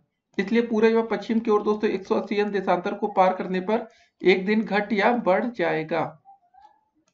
इस अव्यवस्था को दूर करने के लिए 180 अंश देशांतर रेखा के सहारे अंतरराष्ट्रीय तिथि रेखा मान ली गई है। इसे मानचित्र पर देख सकते हैं। पृथ्वी पर 180 अंश जाम्योत्तर के लगभग सात सात स्थल खंडों को छोड़ते हुए एक काल्पनिक रेखा निर्धारित की गई है। इसे हम अंतरराष्ट्रीय तिथि रेखा या इंटरनेशनल डेट लाइन कहते हैं। इस रेखा को पार करते समय एक दिन बढ़ना अथवा घटाकर तिथि परिवर्तन किया जाता है। जब कोई जलवायु पश्चिम की यात्रा करता है तो एक दिन छोड़ दिया जाता है, जैसे सोमवार के स्थान पर बुधवार और तिथि सत्ताईस के स्थान पर उनतीस मानेगा। जब पूर्व की ओर दो से यात्रा की जाती है तो एक दिन जोड़कर कर दिया जाता है। सोमवार के स्थान पर दूसरा दिन सोमवार ही होता है और तिथि भी सत्ताईस ही रहती है। तो दोस्तों, पृथ्वी पर किसी स्थान पर विशेष का सूर्य की स्थिति से परिकलित समय स्थानीय समय या लोकल टाइम कहलाता है। स्थानीय मध्यान्ह समय उस क्षण को मानते हुए जब सूर्य आकाश में अपनी उच्चतम स्थिति पर पहुँच जाता है तो भूमि पर, ठीक है दोस्तों, किसी वस्तु की छाया लघुत्तम होती है, जबकि किसी देश के मध्य से गुजरने वाली याम्योत्तर का माध्य प्रामाणिक समय या स्टैंडर्ड टाइम होता है, जो स्थानीय समय की असुविधा के कारण संपूर्ण देश के लिए प्रस्तुत होता है। जैसे भारत के लिए दोस्तों, साढ़े बयासी बयासी से एक बटे दो इलाहाबाद का देशांतर। याम्योत्तर का समय प्रमाणिक समय माना जाता है।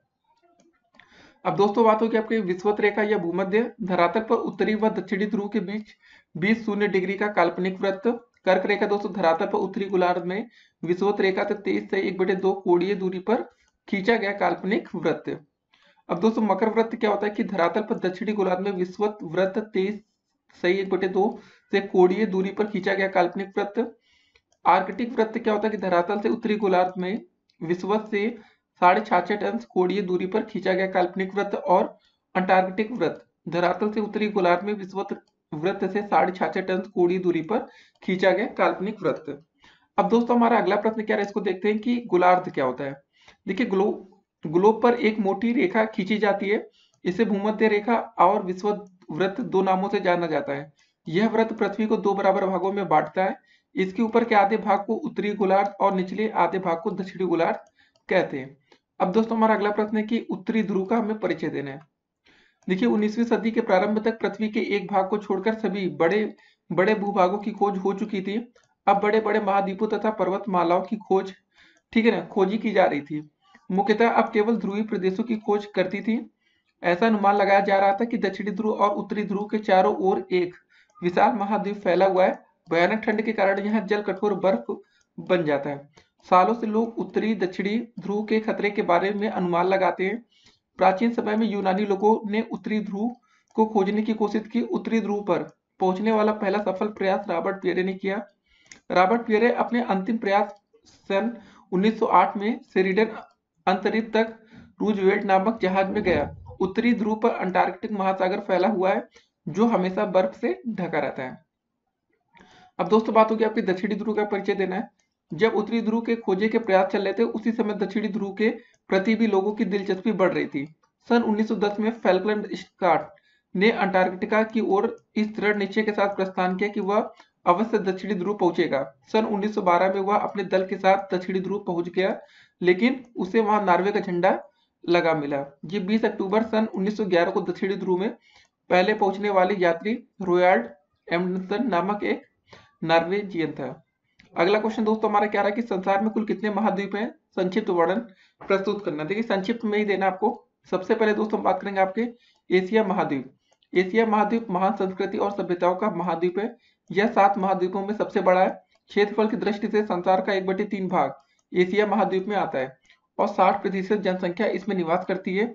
यह महाद्वीप दस अंश दक्षिणी अक्षांश से और अस्सी अंश उत्तरी अक्षांश तक तथा पच्चीस अंश पूर्वी देशांतर से एक सौ तीस अंश पश्चिमी देशांतर तक विस्तृत है। संसार का सर्वोच्च शिखर हिमालय इस महाद्वीप में स्थित है। इस महाद्वीप का अधिकांश भाग मानसूनी हवाओं के प्रभाव में रहता है। इस महाद्वीप में भूमध्य रेखीय मानसूनी तथा शीतोष्ण वन पाए जाते हैं। इस प्रकार यहाँ सदाबहार वन, पतझड़ वन कोटधारी वन, कटीली झाड़ियाँ, मुख्य वृक्ष एबोनी महोगनी टोक साल बास सदलबुड आदि है। यहाँ के मुख्य पशु बंदर, छिपकली, हिरन, सांप चूहे रेगिस्तानी लोमड़ी आती हैं। अब दोस्तों उसके बाद बात होगी हमारी दूसरा सबसे बड़ा एशिया महाद्वीप के बाद आपका आता है अफ्रीका। ठीक है अफ्रीका क्षेत्रफल की दृष्टि से संसार का दूसरा महा, बड़ा महाद्वीप है। सुएज नहर सुएज की खाड़ी तथा लाल सागर अफ्रीका तथा एशिया के मध्य सीमा बनाते जिब्राल्टर जल संधि इसे यूरोप से अलग करती है। इसके पश्चिम में अंध यह अंटार्कटिक महासागर और पूर्व में हिंद महासागर स्थित है। ठीक है दोस्तों इसको पढ़ लेंगे उसके बाद हम बात करेंगे तीसरा आता है उत्तरी अमेरिका। देखिए, उत्तरी अमेरिका क्षेत्रफल की दृष्टि से संसार का तीसरा सबसे बड़ा महाद्वीप है। उत्तरी अमेरिका के पश्चिम में प्रशांत महासागर पूर्व में अटलांटिक महासागर, उत्तर में दोस्तों आर्कटिक महासागर स्थित है। कनाडा संयुक्त राज्य अमेरिका, मैक्सिको इस महाद्वीप के मुख्य देश है। ठीक दोस्तों उसके बाद हम बात करेंगे आपके दक्षिणी अमेरिका। दक्षिणी गोलार्ध में स्थित होने के कारण इस महाद्वीप को दोस्तों हम दक्षिणी अमेरिका कहते थे कि दो नंबर का क्वेश्चन रहेगा तो आपको उसी हिसाब से लिखना है। ज़्यादा नहीं लिखेंगे, क्योंकि दोस्तों समय की भी आपकी लिमिट होती है, ऐसा नहीं कि आप लिखते जा रहे हैं। इसका ध्यान देंगे, ठीक है ना? इसका लगभग दो तिहाई भाग विश्वत रेखा के दक्षिण में उष्ण कटिबंध में अवस्थित है।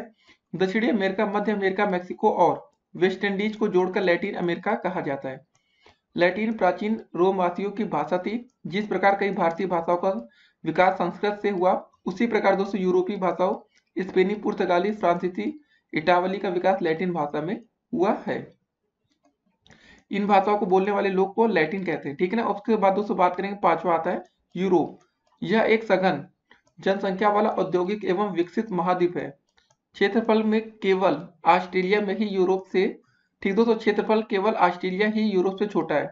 यूरोप महाद्वीप के उत्तर में बैरेंट सागर, पश्चिम में अंटलांटिकी महासागर तथा यूराल पर्वत इसकी सीमाएँ बनाते हैं। यूरोप तीन तरफ़ से पानी से घिरा हुआ, इसलिए इसको एक प्रायद्वीप कहा जाता है। इसकी तट रेखा बहुत कटी छटी है। ठीक दोस्तों उसके नंबर सिक्स पर आता है आपका ऑस्ट्रेलिया। यह संसार का सबसे छोटा महाद्वीप है। विश्व में ऑस्ट्रेलिया ही एकमात्र देश है जो पूरे महाद्वीप पर फैला हुआ है। इसलिए इसे दोस्तों द्वीपीय महाद्वीप भी कहते हैं। यह पूरी तरह दक्षिणी गोलार्ध में अवस्थित है। मकर रेखा तेईस से एक बटे दो डिग्री। ठीक है, दक्षिणी इसके लगभग बीस से होकर गुजरती है। जेम्स कुक ने 1770 में ऑस्ट्रेलिया की खोज की थी। अब सातवां नंबर दोस्तों आता है आपका अंटार्कटिका। अंटार्कटिका महाद्वीप दक्षिणी गोलार्ध में ध्रुवों के आसपास स्थित है। अंटार्कटिका महाद्वीप अंटार्कटिक वृत्त के दक्षिण में है। ठीक दोस्तों, बाद में इसको बढ़िया लिख लेंगे आप लोग। अब दोस्तों अगला प्रश्न हमारा आता है, इसको देखते हैं कि धरातल के प्रमुख महासागरों का संक्षिप्त विवरण आपको प्रस्तुत करना है।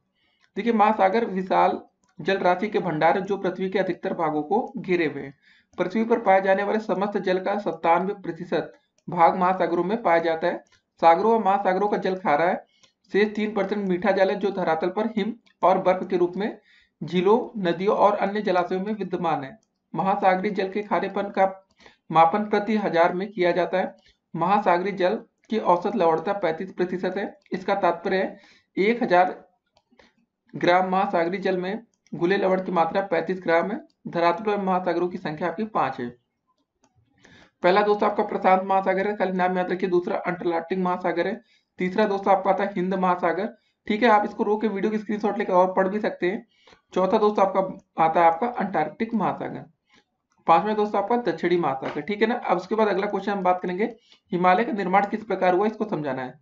देखिए, आपका आज से करोड़ वर्ष पूर्व हिमालय की जगह एक सागर था जिसे टिथिस इसका नाम दोस्तों याद रखिएगा थोड़ा टिथिस महासागर कहा जाता था। ठीक है, इस विशाल सागर के उत्तर और दक्षिण में क्रमशः अंगारा और गोंडवाना लैंड नामक दो भू, भूभाग थे। अंगारा और गोंडवाना लैंड से निकलकर बहने वाली नदियों का पानी इस सागर में गिरता था। पानी के साथ बहकर आया मलवा सागर की तलहटी में परत दर परत जमा हो गया, पृथ्वी की आंतरिक हलचल के कारण। सागर की तलहटी में जमा हुआ परत परतदार मलबा मोड़कर पर्वत का रूप उठाता गया, जिससे दोस्तों विश्व की सबसे ऊँची पर्वत श्रृंखला का निर्माण हुआ। है अब हिमालय के लाभ दोस्तों में बता रहे देखिए अच्छा क्वेश्चन है कि हिमालय पर्वत भारत के पहाड़ी के रूप में स्थित है। यह पर्वत उत्तर से आने वाली ठंडी हवाओं को रोकता है। यदि पर्वत ना होता तो हमारी जलवायु ठंडी और शुष्क होती। तीसरा पॉइंट है दोस्तों, हिमालय पर्वत से अनेक जड़ी बूटियाँ प्राप्त होती हैं। चौथा है कि हिमालय पर्वत के जंगलों से बहुमूल्य लकड़ी प्राप्त होती है। अगला क्वेश्चन दोस्तों, भारतीय उपमहाद्वीप को आकार एवं विस्तार की दृष्टि से कितने भौतिक विभागों में बांटा गया, आपको ये बताना है। यह क्वेश्चन ऐसे आ सकता है कि हिमालय को कितने श्रेणियों में बांटा गया है? तो दोस्तों, इसका आंसर होगा चार भौतिक विभागों में बांटा गया इसका विवरण निम्न है। पहला दोस्तों आता है उत्तर पर्वतीय प्रदेश या नॉर्थ माउंटेन रीजन। यह भारत का सबसे ऊपरी भाग है। इसे अग्रलिखित शीर्षकों के साथ समझा जा सकता है। देखिए दोस्तों, हिमालय पर्वत श्रृंखला। हिमालय तीन समानांतर पर्वत श्रृंखलाओं के रूप में पश्चिम में सिंधु गार्च से पूर्व में ब्रह्मपुत्र गार्च तक विस्तृत है। अब दोस्तों, बात होगी आपके वृहत हिमालय अथवा आंतरिक हिमालय। ठीक है ना? यह हिमालय पर्वत की सबसे ऊँची पर्वत श्रेणी है। इसकी औसत ऊंचाई छह हज़ार मीटर और चौड़ाई 225 किलोमीटर है। विश्व का अधिकांश ऊँची पर्वत चोटियाँ इसी पर्वत श्रेणी में स्थित है। तो दोस्तों, जिनके कुछ निम्न प्रकार हैं, देखिए। सबसे पहले दोस्तों, आता है आपका माउंट एवरेस्ट, नेपाल में आठ हज़ार आठ सौ अड़तालीस मीटर ऊंचाई समुद्र तल से। जी हाँ दोस्तों, किसी की भी ऊंचाई ली जाती है तो इसको याद रखेंगे, समुद्र तल से ही हमेशा ऊंचाई ली जाती है। फिर दोस्तों, बात आती कंचनजंगा। भारत में दोस्तों, आठ मकालू, नेपाल में दोस्तों आठ हज़ार चार सौ इक्यासी, धौलागिरी, नेपाल में आठ हज़ार एक सौ बहत्तर, नंगा पर्वत, भारत में आठ हज़ार एक सौ छब्बीस, अन्नपूर्णा, नेपाल में आठ हज़ार अठहत्तर मीटर, नंदा देवी, भारत में आठ, सात हज़ार आठ सौ सत्रह और नाम, चावरवा, तिब्बत में दोस्तों सात हज़ार सात सौ छप्पन। अब दोस्तों बात होगी हमारी लघु अथवा मध्य हिमालय क्या है? ठीक है ना? यह बृहत हिमालय के दक्षिण में लगभग इसके समानांतर पूर्व पश्चिम दिशा में विस्तृत है। इसकी लंबाई दो से लेकर 4500 मीटर और चौड़ाई 80 किलोमीटर है। हिमालय के इस भाग में पर्वत रेडियो में पी, पंजाल, नागटिबा, महाभारत और मसूरी प्रमुख है। अब दोस्तों, बात आती है आपके बाय हिमालय अथवा शिवालिक श्रेणी क्या है? देखिए दोस्तों, यह लघु हिमालय के दक्षिण में इसके समांतर पूर्व पश्चिम दिशा में फैली हुई है। इसकी औसत ऊंचाई 900 से लेकर 1200 मीटर और चौड़ाई 210 से लेकर 50 किलोमीटर है। अब दोस्तों, उसके बाद आता है कुमायूं हिमालय। कुमायूं हिमालय सतलज तथा काली नदी के बीच 320 किलोमीटर लंबे क्षेत्र में विस्तृत है। फिर नेपाल हिमालय। नेपाल हिमालय कालीन नदी में तिस्ता नदी तक लगभग 800 किलोमीटर का लंबाई में विस्तृत है। इसका अधिकांश भाग नेपाल में स्थित है, इसलिए इसे नेपाल हिमालय कहते हैं। दोस्तों, बात आती है आपके असोम हिमालय। तिस्ता नदी से लेकर दिहांग या सागबो ब्रह्मपुत्र तक 720 किलोमीटर लंबाई में असोम हिमालय फैला हुआ है। इस भाग के प्रमुख पर्वत चोटियाँ, कुला, कांगड़ी चुमल हारी काबुर, जांग, सांगला तथा पोहनी है। उसके बाद दोस्तों आता आपका पूर्वांचल या पूर्वी पहाड़ियाँ। पूर्व दिशा में दिहांग ठीक दोस्तों, गार्ज के आगे हिमालय पर्वत की श्रेणियाँ दक्षिण की ओर मुड़ जाती है। यह पहाड़ियाँ अरुणाचल प्रदेश, नागालैंड, मणिपुर, मिजोरम, मेघालय, त्रिपुरा, उत्तरी असोम और भारत तथा म्यांमार की सीमा पर फैली हुई है। फिर आता आपका हिमालय के दर्रे। हिमालय पर्वत श्रेणी के आर पार जाने के लिए इसमें अनेक दर्रे विद्यमान है। हिमालय के अधिकांश दर्रों की औसत ऊंचाई 4,800 से लेकर 5,500 मीटर है। ट्रांस हिमालय श्रेणी यह महान हिमालय के उत्तर तथा तिब्बत के दक्षिण में स्थित है। इसमें लद्दाख जातकर कैलाश तथा काकाकोरम पर्वत श्रेणियाँ सम्मिलित है। फिर दोस्तों बात आती है आपके सिंधु गंगा ब्रह्मपुत्र का मैदान। तो हिमालय पर्वत तथा दक्षिणी प्रायद्वीप पठार के बीच सिंधु गंगा तथा ब्रह्मपुत्र नदियों की निक्षेप क्रिया द्वारा निर्मित एक विशाल मैदान स्थित है, जिसे हम सिंधु गंगा ब्रह्मपुत्र का मैदान कहते हैं। भारत के उत्तरी भाग में स्थित होने के कारण इसे उत्तरी भाग भारत का मैदान भी कहते हैं। अब दोस्तों आता है उत्तर के मैदान। ठीक है, देखिए, सिंधु से लेकर असोम तक इस विशाल मैदान के उच्चावच में महत्वपूर्ण प्रादेशिक भिन्नताएँ पाई जाती हैं। इस भिन्नताओं के आधार पर इस विशाल मैदान को निम्नलिखित भागों में विभाजित किया गया। पहला दोस्तों, सिंधु का मैदान, पंजाब या हरियाणा का मैदान, गंगा का मैदान और चौथा आता है ब्रह्मपुत्र नदी का मैदान। अब बात आती है दोस्तों आपकी प्रायद्वीपी पठार क्या है? देखिए, भारत का प्रायद्वीपी पठार प्रदेश एक अनियमित त्रिभुजाकार आकृति में फैला हुआ है। इसका आधार दिल्ली एवं राजमहल पहाड़ियों के मध्य में उत्तरी मैदान की दक्षिणी सीमा तथा शीर्ष कन्याकुमारी है। ठीक है, तटीय मैदान दोस्तों क्या है? देखिए दक्षिणी पठार के पूर्व तथा पश्चिम में दो सक्रिय मैदान है, जिन्हें क्रमशः पश्चिमी तटीय मैदान तथा पूर्वी तटीय मैदान कहते हैं। इसका विवरण निम्नलिखित है। दक्षिणी तटीय मैदान, यह मैदान पश्चिमी घाट तथा अरब सागर के तट के बीच गुजरात से कन्याकुमारी तक फैला हुआ है। पूर्वी तटीय मैदान दोस्तों, यह मैदान पूर्वी घाट तथा बंगाल की खाड़ी के उत्तर में गंगा के मुहाने से दक्षिण में कन्याकुमारी तक फैला हुआ है। अगला क्वेश्चन दोस्तों, क्या है भारत की जलवायु को कितने भागों में विभक्त किया गया? ये क्वेश्चन आ सकता है। यह क्वेश्चन ऐसे बनेगा कि भारत की जलवायु के बारे में लिखिए। यहाँ मुख्य रूप से कितनी ऋतुएँ होती है और उसको लिखना है। तो दोस्तों उत्तर कैसे लिखेगा कि भारत की जलवायु भारत की मानसूनी जलवायु पाई जाती है क्योंकि यह मानसूनी पवनों के प्रभाव के क्षेत्र के अंतर्गत आता है। भारतीय मौसम विभाग द्वारा भारत की जलवायु को चार ऋतुओं में विभक्त किया गया है। पहला दोस्तों शीत ऋतु ग्रीष्म ऋतु वर्षा ऋतु और शरद ऋतु। तो दोस्तों शीत ऋतु में क्या होता है? इस ऋतु का समय मध्य दिसंबर से फरवरी तक मा, तक माना जाता है। इससे सूर्य की स्थिति दक्षिणी गोलार्ध में होने से उत्तरी गोलार्ध में स्थित भारत पर तिरछी सूर्य की किरणें पड़ती हैं। फलतः भारत का तापमान कम होने के कारण उत्तर पश्चिमी भारत में क्षीण उच्च वायु दाब बनता है। उच्च वायु दाब मतलब उच्च दाब से निम्न वायु दाब की पौने प्रवाह शुरू हो जाता है। इससे शीतकालीन मानसूनी या उत्तर पूर्वी मानसून या लौटता हुआ मानसून भी कहा जाता है। फिर दोस्तों दूसरा आता है आपका ग्रीष्म ऋतु। यह ऋतु मार्च से मध्य जून तक की होती है। इस माह में सूर्य धीरे धीरे उत्तरायण होकर लगभग भूमध्य रेखा के ऊपर लंबवत चमकने लगता है। फलतः सम, समस्त भारत का तापमान बढ़ जाने से उत्तर तथा उत्तर पश्चिम भारत में गर्म तेज हवाएँ लगभग 40 डिग्री सेल्सियस तक चलने लगती है जिन्हें दोस्तों हम लू कहते हैं। ठीक है ये सब आप लोग बना के लिख सकते हैं। फिर तीसरा पॉइंट आता है आपका वर्षा ऋतु। इस ऋतु का समय दोस्तों जून से लेकर सितंबर तक का होता है। जून के समय सूर्य कर्क रेखा के आसपास लंबो चमकता है। फलता उत्तर पश्चिमी भारत में निम्न वायुदाब का केंद्र अधिक तापमान होने के कारण बन जाता है, जो ही निम्न वायुदाब की तीव्रता बढ़ती है। दक्षिणी पूर्वी व्यापक पवने उष्ण व आर्द्र, जो विश्वतीय निम्न वायुदाब की ओर चलती है। भारत के इस निम्न वायुदाब की ओर आकर्षित हो जाती है। विश्वत रेखा पार करने पर इन व्यापारिक पवनों की दिशा दक्षिण पश्चिम हो जाती है। फिर दोस्तों क्या होता है? इन्हें दक्षिण पश्चिमी मानसून भी कहते हैं। यही दोस्तों आगे बढ़ते हुए मानसून की ऋतु भी कही जाती है। फिर दोस्तों चौथा पॉइंट आता है आपका शरद ऋतु। दक्षिण पश्चिम मानसून उत्तरी भारत में सितंबर के द्वितीय सप्ताह तक पीछे हटने लगता है। यह प्रक्रिया मानसून के आने के विपरीत धीरे धीरे होती है। मानसून के पीछे हटने का तात्पर्य है कि मानसून प्रवाह का कमज़ोर पड़ जाना, यह दोस्तों प्रायद्वीप के दक्षिण भाग में नवंबर के प्रारंभ तक लौट जाता है। ठीक है ना? ऐसे आप बनाकर लिख सकते हैं। फिर दोस्तों, हमारा अगला प्रश्न इसको देखते हैं कि भारत के प्राकृतिक वनस्पतियों का वर्गीकरण आपको करना है। सबसे पहले दोस्तों हम बात करेंगे उष्ण कटबंधीय सदाबार वर्षा वन। और दोस्तों भारत के प्राकृतिक वनस्पतियों को हम पाँच वर्गों में वर्गीकृत करते हैं। जिसका आंसर कैसे लिखेंगे? यह वनस्पति पश्चिमी घाट के सह्याद्री अधिक वर्षा वाले क्षेत्र 200 सेंटीमीटर से अधिक। मेघालय क्षेत्र, अंडमान व निकोबार द्वीप समूह व लक्षद्वीप में पाई जाती है। इन वनों की मुख्य विशेष इनकी अधिक ऊंचाई तथा वृक्षों की सघनता है। ठीक है दोस्तों पेड़ों के ऊपरी सिरों तक इतनी शाखाएँ होती हैं कि ये छाता के आकार ले लेती हैं। इन वनों की लकड़ियाँ कठोर प्रकृति की होती है। इनमें प्रमुख रूप से महोगनी, आबनूस, बाँस बेद सिनकोना, रबड़ उल्लेखनीय है।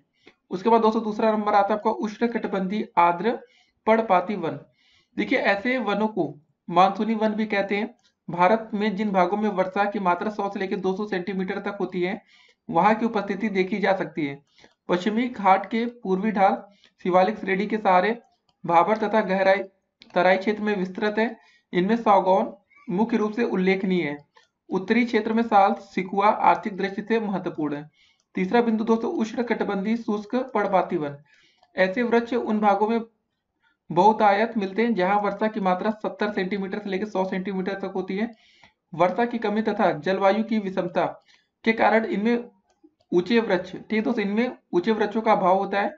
ये वृक्ष उत्तर प्रदेश के अधिकतर भागों, पश्चिमी बिहार, उत्तरी व पश्चिमी मध्य प्रदेश, महाराष्ट्र के अधिकांश भागों, उत्तरी आंध्र प्रदेश, तमिलनाडु के पूर्वी भाग, कर्नाटक की मध्यवर्ती संकीर्ण पट्टी में विस्तृत है। फिर दोस्तों, चौथा पॉइंट आता है आपका कटीले वन। ये वन उन क्षेत्रों तक सीमित है जहाँ वार्षिक वर्षा की मात्रा 80 सेंटीमीटर से भी कम होती है। इनमें दोस्तों, कांटेदार बौने वृक्ष और झाड़ियाँ पाई जाती हैं। बबूल, कीकर, खजूर सामान्य वर्षा वाले क्षेत्रों में पाए जाते हैं। उसके बाद दोस्तों पांचवा बिंदु आता है, पर्वतीय वन। हिमालय प्रदेश के वन ऊंचाई के साथ बदल जाते हैं। हिमालय के पदीय भाग उष्ण कटबंधीय पर्णपाती वनों से आच्छादित है। इस पेटी का सबसे महत्वपूर्ण वृक्ष साल है, ठीक है ना दोस्तों?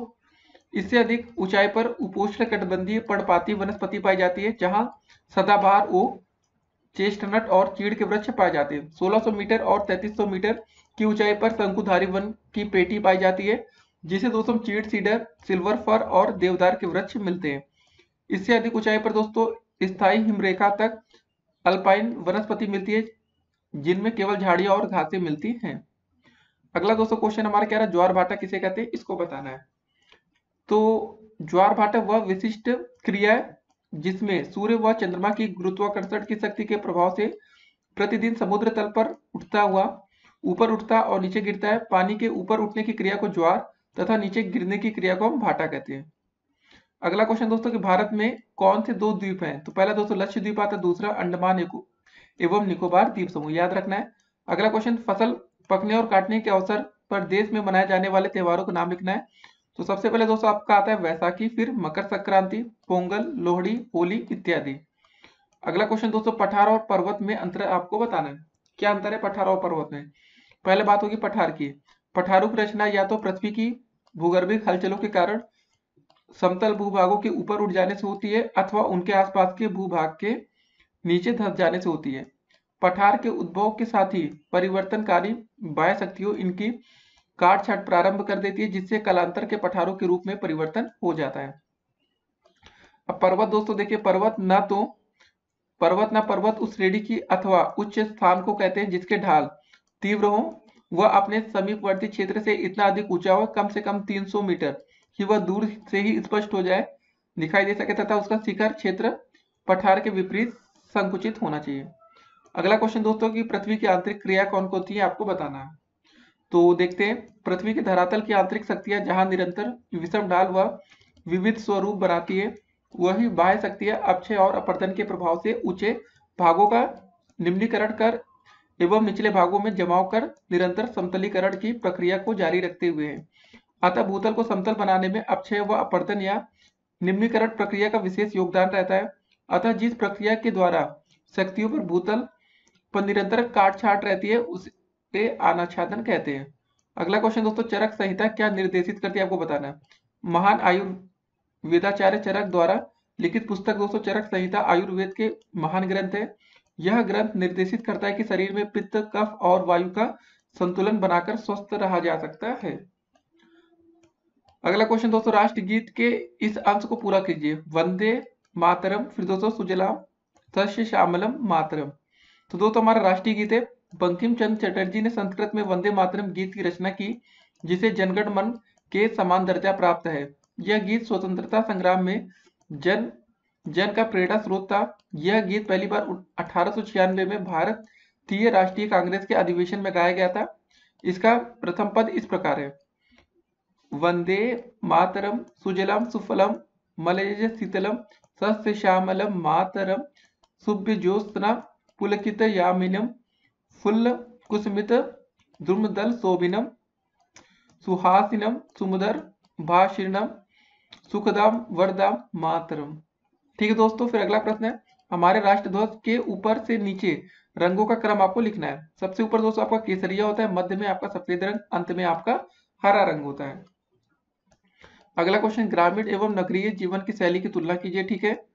तो देखिए कि गाँव और नगर के जीवन में अंतर है। गाँव में अधिकतर लोग किसान हैं और वे खेती करते हैं। गाँव के लोग अन्न तथा रुई पैदा करते हैं। इनसे लोगों की खाने पीने और पहनने की जरूरतें पूरी होती है। गाँव से अन्य वस्तुएँ भी शहरों की ओर जाती है। जैसे दोस्तों, आपका दूध हो गया, अंडे हो गया, फल तथा सब्ज़ियाँ। शहरों में अधिकतर लोग नौकरी करते हैं, वे व्यापार भी करते हैं। शहरों से भी बहुत सी वस्तुएँ गाँव तक जाती है, जैसे दोस्तों, कपड़े और साबुन। ठीक है दोस्तों, दिया, सलाई, तेल, नमक, कापी, किताब, साइकिल आदि। इस तरह गाँव और शहर के लोग एक दूसरे पर निर्भर करते हैं। नगरों में हम कई प्रकार की सुविधाएँ मिल जाती है। यहाँ एक स्थान से दूसरे स्थान को आने जाने के लिए टेंपू, बस, शिक्षा के लिए बड़े बड़े स्कूल, कॉलेज और बिजली से प्रकाशित सड़कें हैं। सामान खरीदने के लिए बड़े बाज़ार और इसके विपरीत बहुत से गाँवों को बिजली नहीं है। गाँव में बड़े बड़े विद्यालय भी नहीं है, अतः ऊँची कक्षाओं में पढ़ने के लिए बच्चों को शहर में जाना पड़ता है। लेकिन दोस्तों समय बदल रहा है। ठीक है दोस्तों, ऐसे आप बनाकर लिख सकते हैं। बढ़िया सा अगला क्वेश्चन आता है हमारा, ग्राम पंचायत के कार्य आपको लिखना है। गाँव और नगर के जीवन में अंतर है, गाँव में अधिकतर लोग किसान हैं। ठीक है दोस्तों, हमारे देश में प्रत्येक सौ व्यक्तियों में से लगभग बहत्तर व्यक्ति गाँव में रहते हैं। इनमें मुख्य कार्य खेती, पशुपालन व छोटे मोटे काम धंधे कम से कम दोस्तों, एक हज़ार की आबादी पर एक ग्राम पंचायत होती है। जिन गाँवों की आबादी एक हज़ार से कम है, वहाँ पास के अन्य छोटे छोटे गाँव को मिलाकर एक ग्राम पंचायत बनाई जाती है, यानी एक ग्राम पंचायत अन्य मिले हुए सभी गाँवों के लिए काम करती है। अगला क्वेश्चन दोस्तों, क्या ग्राम पंचायत का गठन किस प्रकार होता है? ग्राम पंचायत का महत्व आपको बताना है।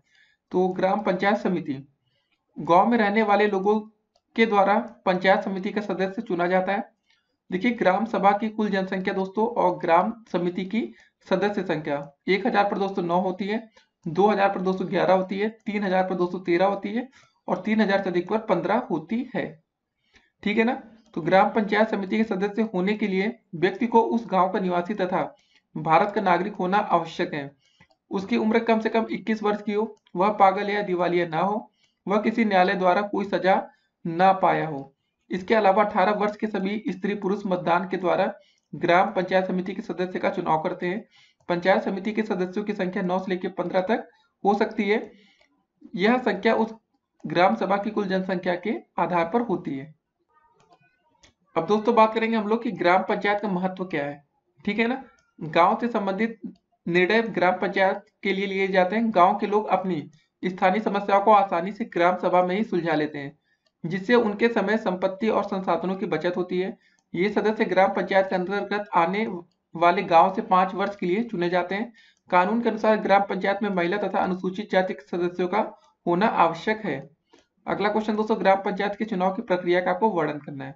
ग्राम प्रधान का चुनाव मतदान द्वारा गाँव के नागरिक को द्वारा होता है। ग्राम पंचायत समिति के सदस्यों में से ही एक सदस्य को बहुमत से उप प्रधान के लिए चुना जाता है। ग्राम प्रधान की अनुपस्थिति में उप प्रधान ही उसके कार्य को करता है। ग्राम प्रधान के लिए चुना जाता है। ग्राम प्रधान की अनुपस्थिति में उप प्रधान ही उसके कार्यों को करता है। ग्राम प्रधान, उप प्रधान तथा पंचायत समिति के सदस्य गाँव की जनता द्वारा चुने जाते हैं और गाँव की जनता की सुख सुविधा के लिए कार्य करते हैं। इन्हें जनता का प्रतिनिधि भी कहा जाता है। यदि कोई सदस्य ठीक से काम नहीं करता तो वह पंचायत समिति से हटाया जा सकता है। ग्राम प्रधान, ग्राम समिति, ठीक है, ग्राम शिक्षा समिति का अध्यक्ष होता है। विद्यालय के रख रखाव निःशुल्क बालिका ड्रेस वितरण, छात्रवृत्ति वितरण, निःशुल्क पाठ्य पुस्तक वितरण तथा विद्यालय में दोपहर के भोजन, मिड डे मील की व्यवस्था उसकी देखरेख में होती है। तो दोस्तों, आपको पता होगा कि यार क्या होता है तो ज़्यादा हम सच्चाई नहीं बताएँगे और अगले क्वेश्चन पर अब बात करेंगे। तो दोस्तों, अगला क्वेश्चन कह रहा आपका कि क्षेत्र पंचायत के गठन पर प्रकाश डालिए तथा इसके कार्यों की विवेचना करना है आपको। तो दोस्तों, चलिए देखते हैं क्षेत्र पंचायत क्या होता है। तो विकास खंड के हर गाँव में प्रधान का चुनाव होता है 18 साल या उससे अधिक की उम्र के व्यक्ति ने वोट दिया। ठीक ना, वोट दे सकते हैं और हर गाँव में एक प्रधान को तो चुना ही गया। क्षेत्र पंचायत के लिए सदस्य भी चुने जाते हैं। कुछ गाँवों से केवल महिलाएँ ही पंचायत सदस्य का चुनाव लड़ सकती हैं। इन्हें महिलाओं के लिए आरक्षित सीटें कहा जाता है। इस क्षेत्र के सांसद और विधायक भी क्षेत्र पंचायत के सदस्य हैं। क्षेत्र पंचायत के सभी सदस्यों ने अपने बीच में एक पंचायत प्रमुख चुना जाता है। पंचायत प्रमुख पंचायत की बैठकों में सभा का संचालन करता है। उन्हें लोग ब्लॉक प्रमुख भी कहते हैं। सभी पंचायत सदस्य आपस में विचार विमर्श करके एक प्रमुख व एक कनिष्ठ उप प्रमुख भी चुनते हैं। क्षेत्र पंचायत के सदस्य में कोई भी 21 साल से कम नहीं होता क्योंकि इससे कम उम्र का व्यक्ति पंचायत का सदस्य नहीं बन सकता है। अब दोस्तों बात करेंगे जिला पंचायत के गठन तथा कार्यों का हमें वर्णन करना है। जिला पंचायत क्या देखते हैं? विकेंद्रीकृत पंचायती राज व्यवस्था के अंतर्गत जिस तरह हर गाँव में ग्राम पंचायत व हर विकास खंड में एक क्षेत्र पंचायत काम करती है। उसी तरह उत्तर प्रदेश के हर ज़िले में, जनपद में मतलब जिला पंचायत काम करती है। ज़िले की सभी क्षेत्र पंचायतों को मिलाकर जिला पंचायत बनती है। जिला पंचायत के सदस्य, देखते हैं कौन कौन होते हैं। क्षेत्र पंचायत के सभी प्रमुख जिला पंचायतों के सदस्य होते हैं। ज़िले के सांसद व विधायक भी जिला पंचायत के सदस्य होते हैं।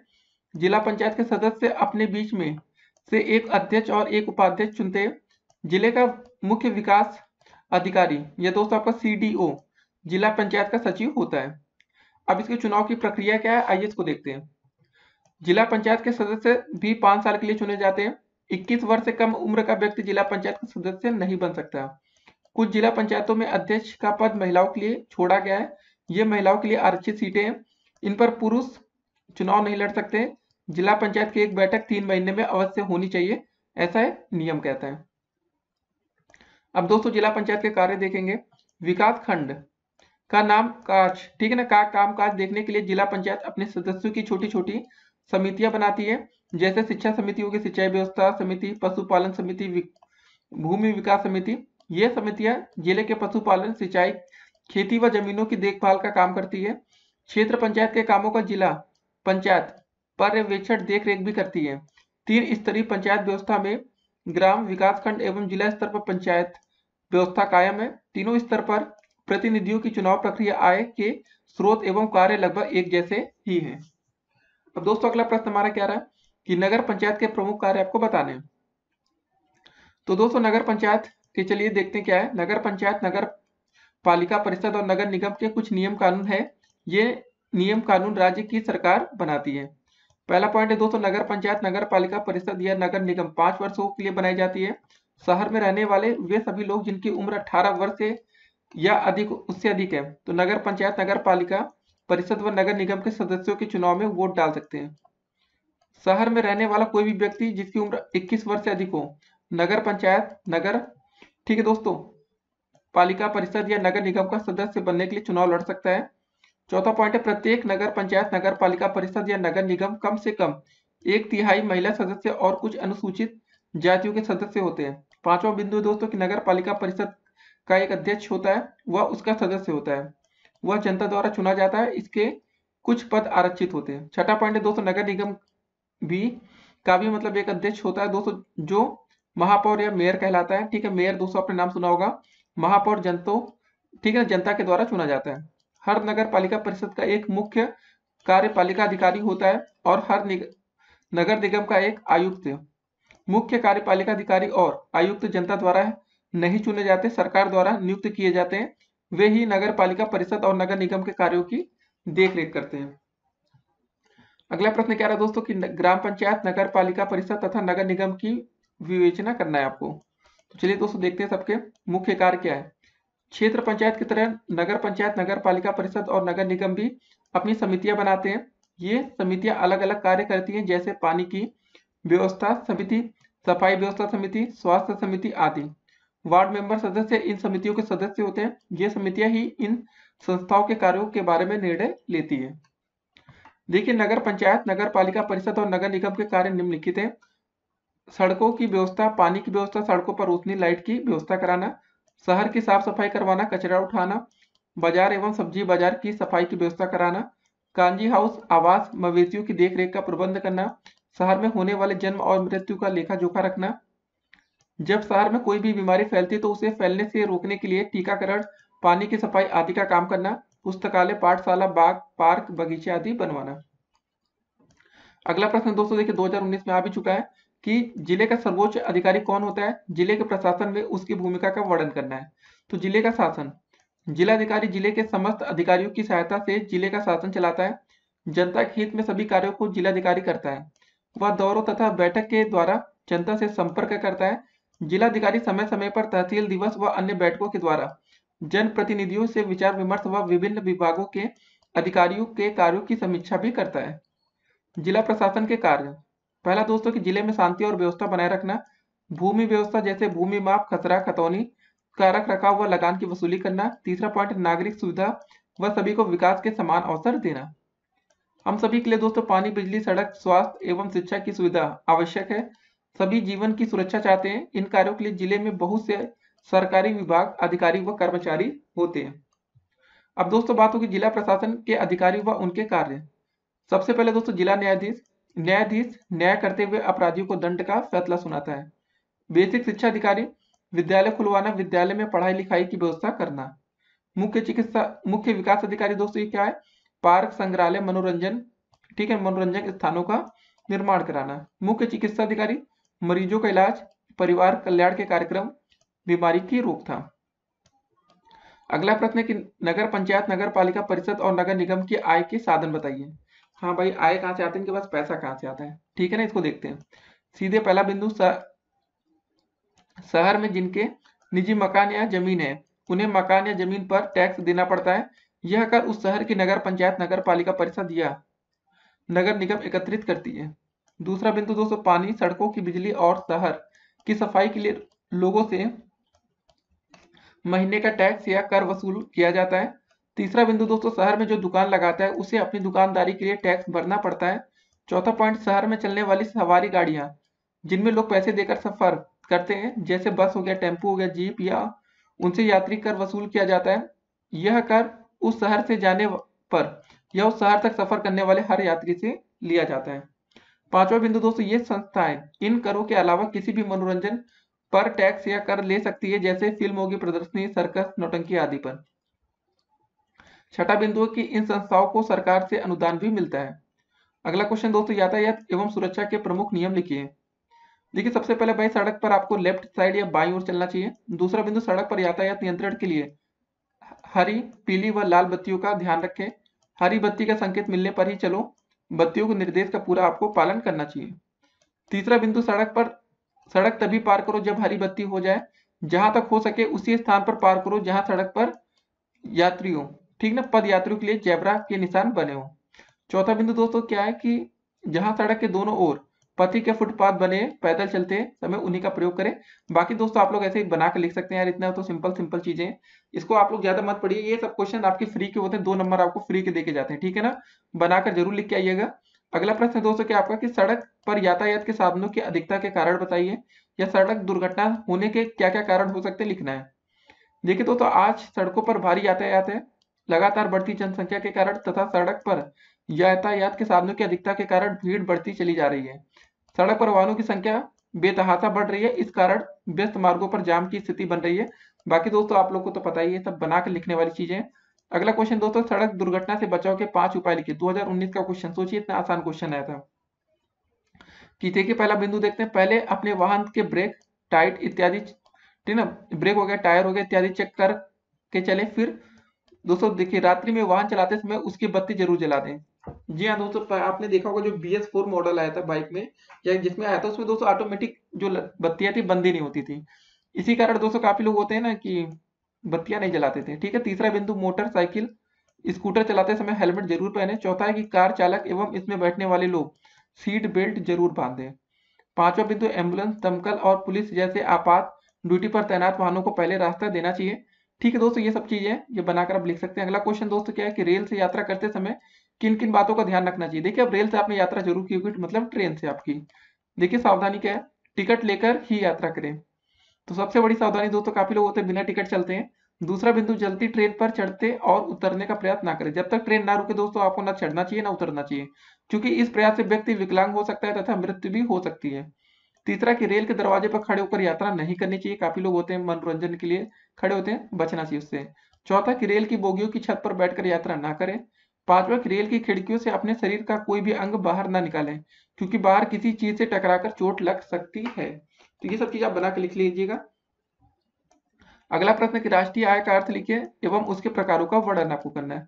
देखिए, राष्ट्रीय आय का अर्थ एवं प्रकार। राष्ट्रीय आय से अर्थ किसी देश की एक वर्ष के मध्य उत्पादित सभी वस्तुओं एवं सेवाओं के बाज़ार मूल्य के कुल जोड़ से जिसे हाश घटाकर व विदेशी लाभ जोड़कर निकाला जाता है।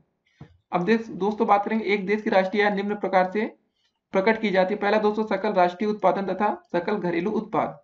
सकल राष्ट्रीय उत्पादन से अर्थ एक वर्ष में उत्पादित होने वाली सभी वस्तुओं और सेवाओं के बाज़ार मूल्य के जोड़ से है। इसमें स्थायी संपत्तियों पर होने वाले हाथ को नहीं हटाया जाता है। ठीक है, दोस्तों, नहीं घटाया जाता है। वास्तव में सकल राष्ट्रीय उत्पादन के दो अनुमानों का जोड़ है। पहला दोस्तों के देश में उत्पादित सभी वस्तुओं के मूल्य, दूसरा की विदेशों से प्राप्त शुद्ध आय। सकल राष्ट्रीय उत्पादन देश के संपूर्ण उत्पादन हाश बिना घटाए ही का बाज़ार मूल्य होता है। राष्ट्रीय आय शुद्ध उत्पादन हाश घटाने के बाद होता है। यह स्मरण रहे कि संकट, सकल राष्ट्रीय उत्पादन में चालू वर्ष में ही उत्पन्न वस्तुओं और सेवाओं के मूल्य को ही शामिल किया जाता है। दूसरा दोस्तों बिंदु आपका क्या है? शुद्ध राष्ट्रीय उत्पादन एवं शुद्ध घरेलू उत्पाद। तो दोस्तों, इसका क्या आंसर रहा कि सकल राष्ट्रीय उत्पादन में हाश घटाने के बाद जो शेष रहता है, वह शुद्ध राष्ट्रीय उत्पादन या शुद्ध घरेलू उत्पाद कहलाता है, गणतीय रूप में यह एनएनपी व एनडीपी बराबर जीएनपी आर जीडीपी जी हाँ दोस्तों, आपने जीडीपी का नाम काफ़ी सुना होगा। इस शुद्ध राष्ट्रीय उत्पादन से देश में उपभोग, बचत, निवेश के लिए उपलब्ध राशि आदि का बोध होता है, ठीक है ना? अगला क्वेश्चन दोस्तों, क्या मतलब अगला पॉइंट है राष्ट्रीय आय? इसे साधन लागत पर शुद्ध राष्ट्रीय आय भी कहते हैं। इसकी गणना हेतु तो शुद्ध राष्ट्रीय उत्पादन एनएनपी में से अप्रत्यक्ष करों को घटा दिया जाता है। किंतु सरकार द्वारा दी गई सहायता जोड़ दी जाती है यह अवधारणा राष्ट्रीय आय के वितरण पक्ष का अध्ययन करने में सहायक होती है। चौथा बिंदु दोस्तों व्यक्तिगत आय या घरेलू उत्पादन। यह आय, वह आय जो कि वास्तव में देश की जनता द्वारा एक वित्तीय वर्ष में प्राप्त की जाती है। राष्ट्रीय आय संबंधी यह अवधारणा देश के क्रय शक्ति को मापने की दृष्टि से महत्वपूर्ण मानी जाती है। इसकी गणना अगर प्रकार से की जाती है। व्यक्तिगत आय बराबर राष्ट्रीय आय माइनस में दोस्तों निगम, ठीक है, निगम व कंपनियों पर कर प्लस कंपनी के अवितरित लाभ प्लस प्रोविडेंट फंड में अंतदान माइनस सरकार द्वारा सामाजिक सुधार पर व्यय। अगला पॉइंट है दोस्तों व्यय योग्य आय। इसका तात्पर्य जनता के पास शुद्ध आय का है, जिसे जनता व्यय करने को तत्पर है। ऐसी आय की गणना के लिए व्यक्तिगत आय में से व्यक्तिगत प्रत्यक्ष करों को घटा दिया जाता है। अब दोस्तों अगला प्रश्न क्या है, इसको देखते हैं। अर्थशास्त्र से आप क्या समझते हैं? अर्थशास्त्र के महत्व का उल्लेख करना। देखिए 2019 का क्वेश्चन इंपॉर्टेंट हो सकता है। प्रोफेसर मार्शल के अनुसार अर्थशास्त्र मानव जीवन के साधारण व्यवसाय का अध्ययन है। इसमें व्यक्तिगत तथा सामाजिक क्रियाओं के उस भाग की जाँच की जाती है, जिसका भौतिक सुख के साधनों की प्राप्ति और उपयोग से बड़ा ही घनिष्ठ संबंध है। अब दोस्तों, बात करेंगे अर्थशास्त्र का महत्व। डॉक्टर शर्मा के शब्दों में, अर्थशास्त्र ज्ञान की एक ऐसी शाखा है जिसके अध्ययन से अछूते रहने पर व्यक्ति अपनी आर्थिक क्रियाओं को सामंजस्य बनाए रखने से, वंचित रहने के साथ साथ अपनी सामाजिक, राजनीतिक तथा अन्य क्रियाओं में सामंजस्य बनाए रखने में भी असफल रहता है। ठीक है दोस्तों, बाकी आप बना के लिखिएगा। देखिए कुछ पॉइंट्स है, इसको डिफाइन करते हैं। अर्थशास्त्र का अध्ययन हमें यह सरकार को केवल देश के भीतर की आर्थिक समस्याओं के समाधान का रास्ता ही नहीं बतलाता, बल्कि अंतरराष्ट्रीय स्तर पर भी हमें समस्याओं के समाधान हेतु मार्गदर्शन करता है। दूसरा पॉइंट है दोस्तों कि अर्थशास्त्र के अंतर्गत प्रतिपादित नियम हमें भावी आर्थिक घटनाओं की जानकारी देते हैं, जिससे केवल आर्थिक जीवन ही प्रभावित नहीं हो सकता, अपितु सामाजिक, राजनीतिक तथा धार्मिक जीवन भी प्रभावित हो सकता है। तीसरा बिंदु, संपूर्ण क्रियाओं का आधार अर्थ है। ठीक है ना? इस दृष्टि से अर्थशास्त्र का अध्ययन या जानकारी व्यक्ति के आर्थिक ज्ञान को बढ़ाती है। वह मित व्यय बनता है, ठीक है ना? बनाता है, अपनी समिति आय के विवेकपूर्ण ढंग से खर्च करके अपनी अधिकतम आवश्यकताओं की संतुष्टि करने के योग्य बनाता है। चौथा पॉइंट दोस्तों, अर्थशास्त्र में सिद्धांतों या नियमों की रचना की गई है। वे संपूर्ण विश्व में एक सामान्य व्यक्ति पर लागू होते हैं। यदि व्यक्ति की, व्यक्ति का या अर्थव्यवस्था की किसी भी इकाई का संचालन या नियम, ठीक है ना, इन नियमों के अंतर्गत होता है तो वह आर्थिक क्षेत्र में ही नहीं, समस्त क्षेत्रों में सफल रहता है। अब दोस्तों, पांचवा पॉइंट क्या है कि आर्थिक जगत की समस्त समस्याओं को पाँच भागों में वर्गीकृत किया गया है।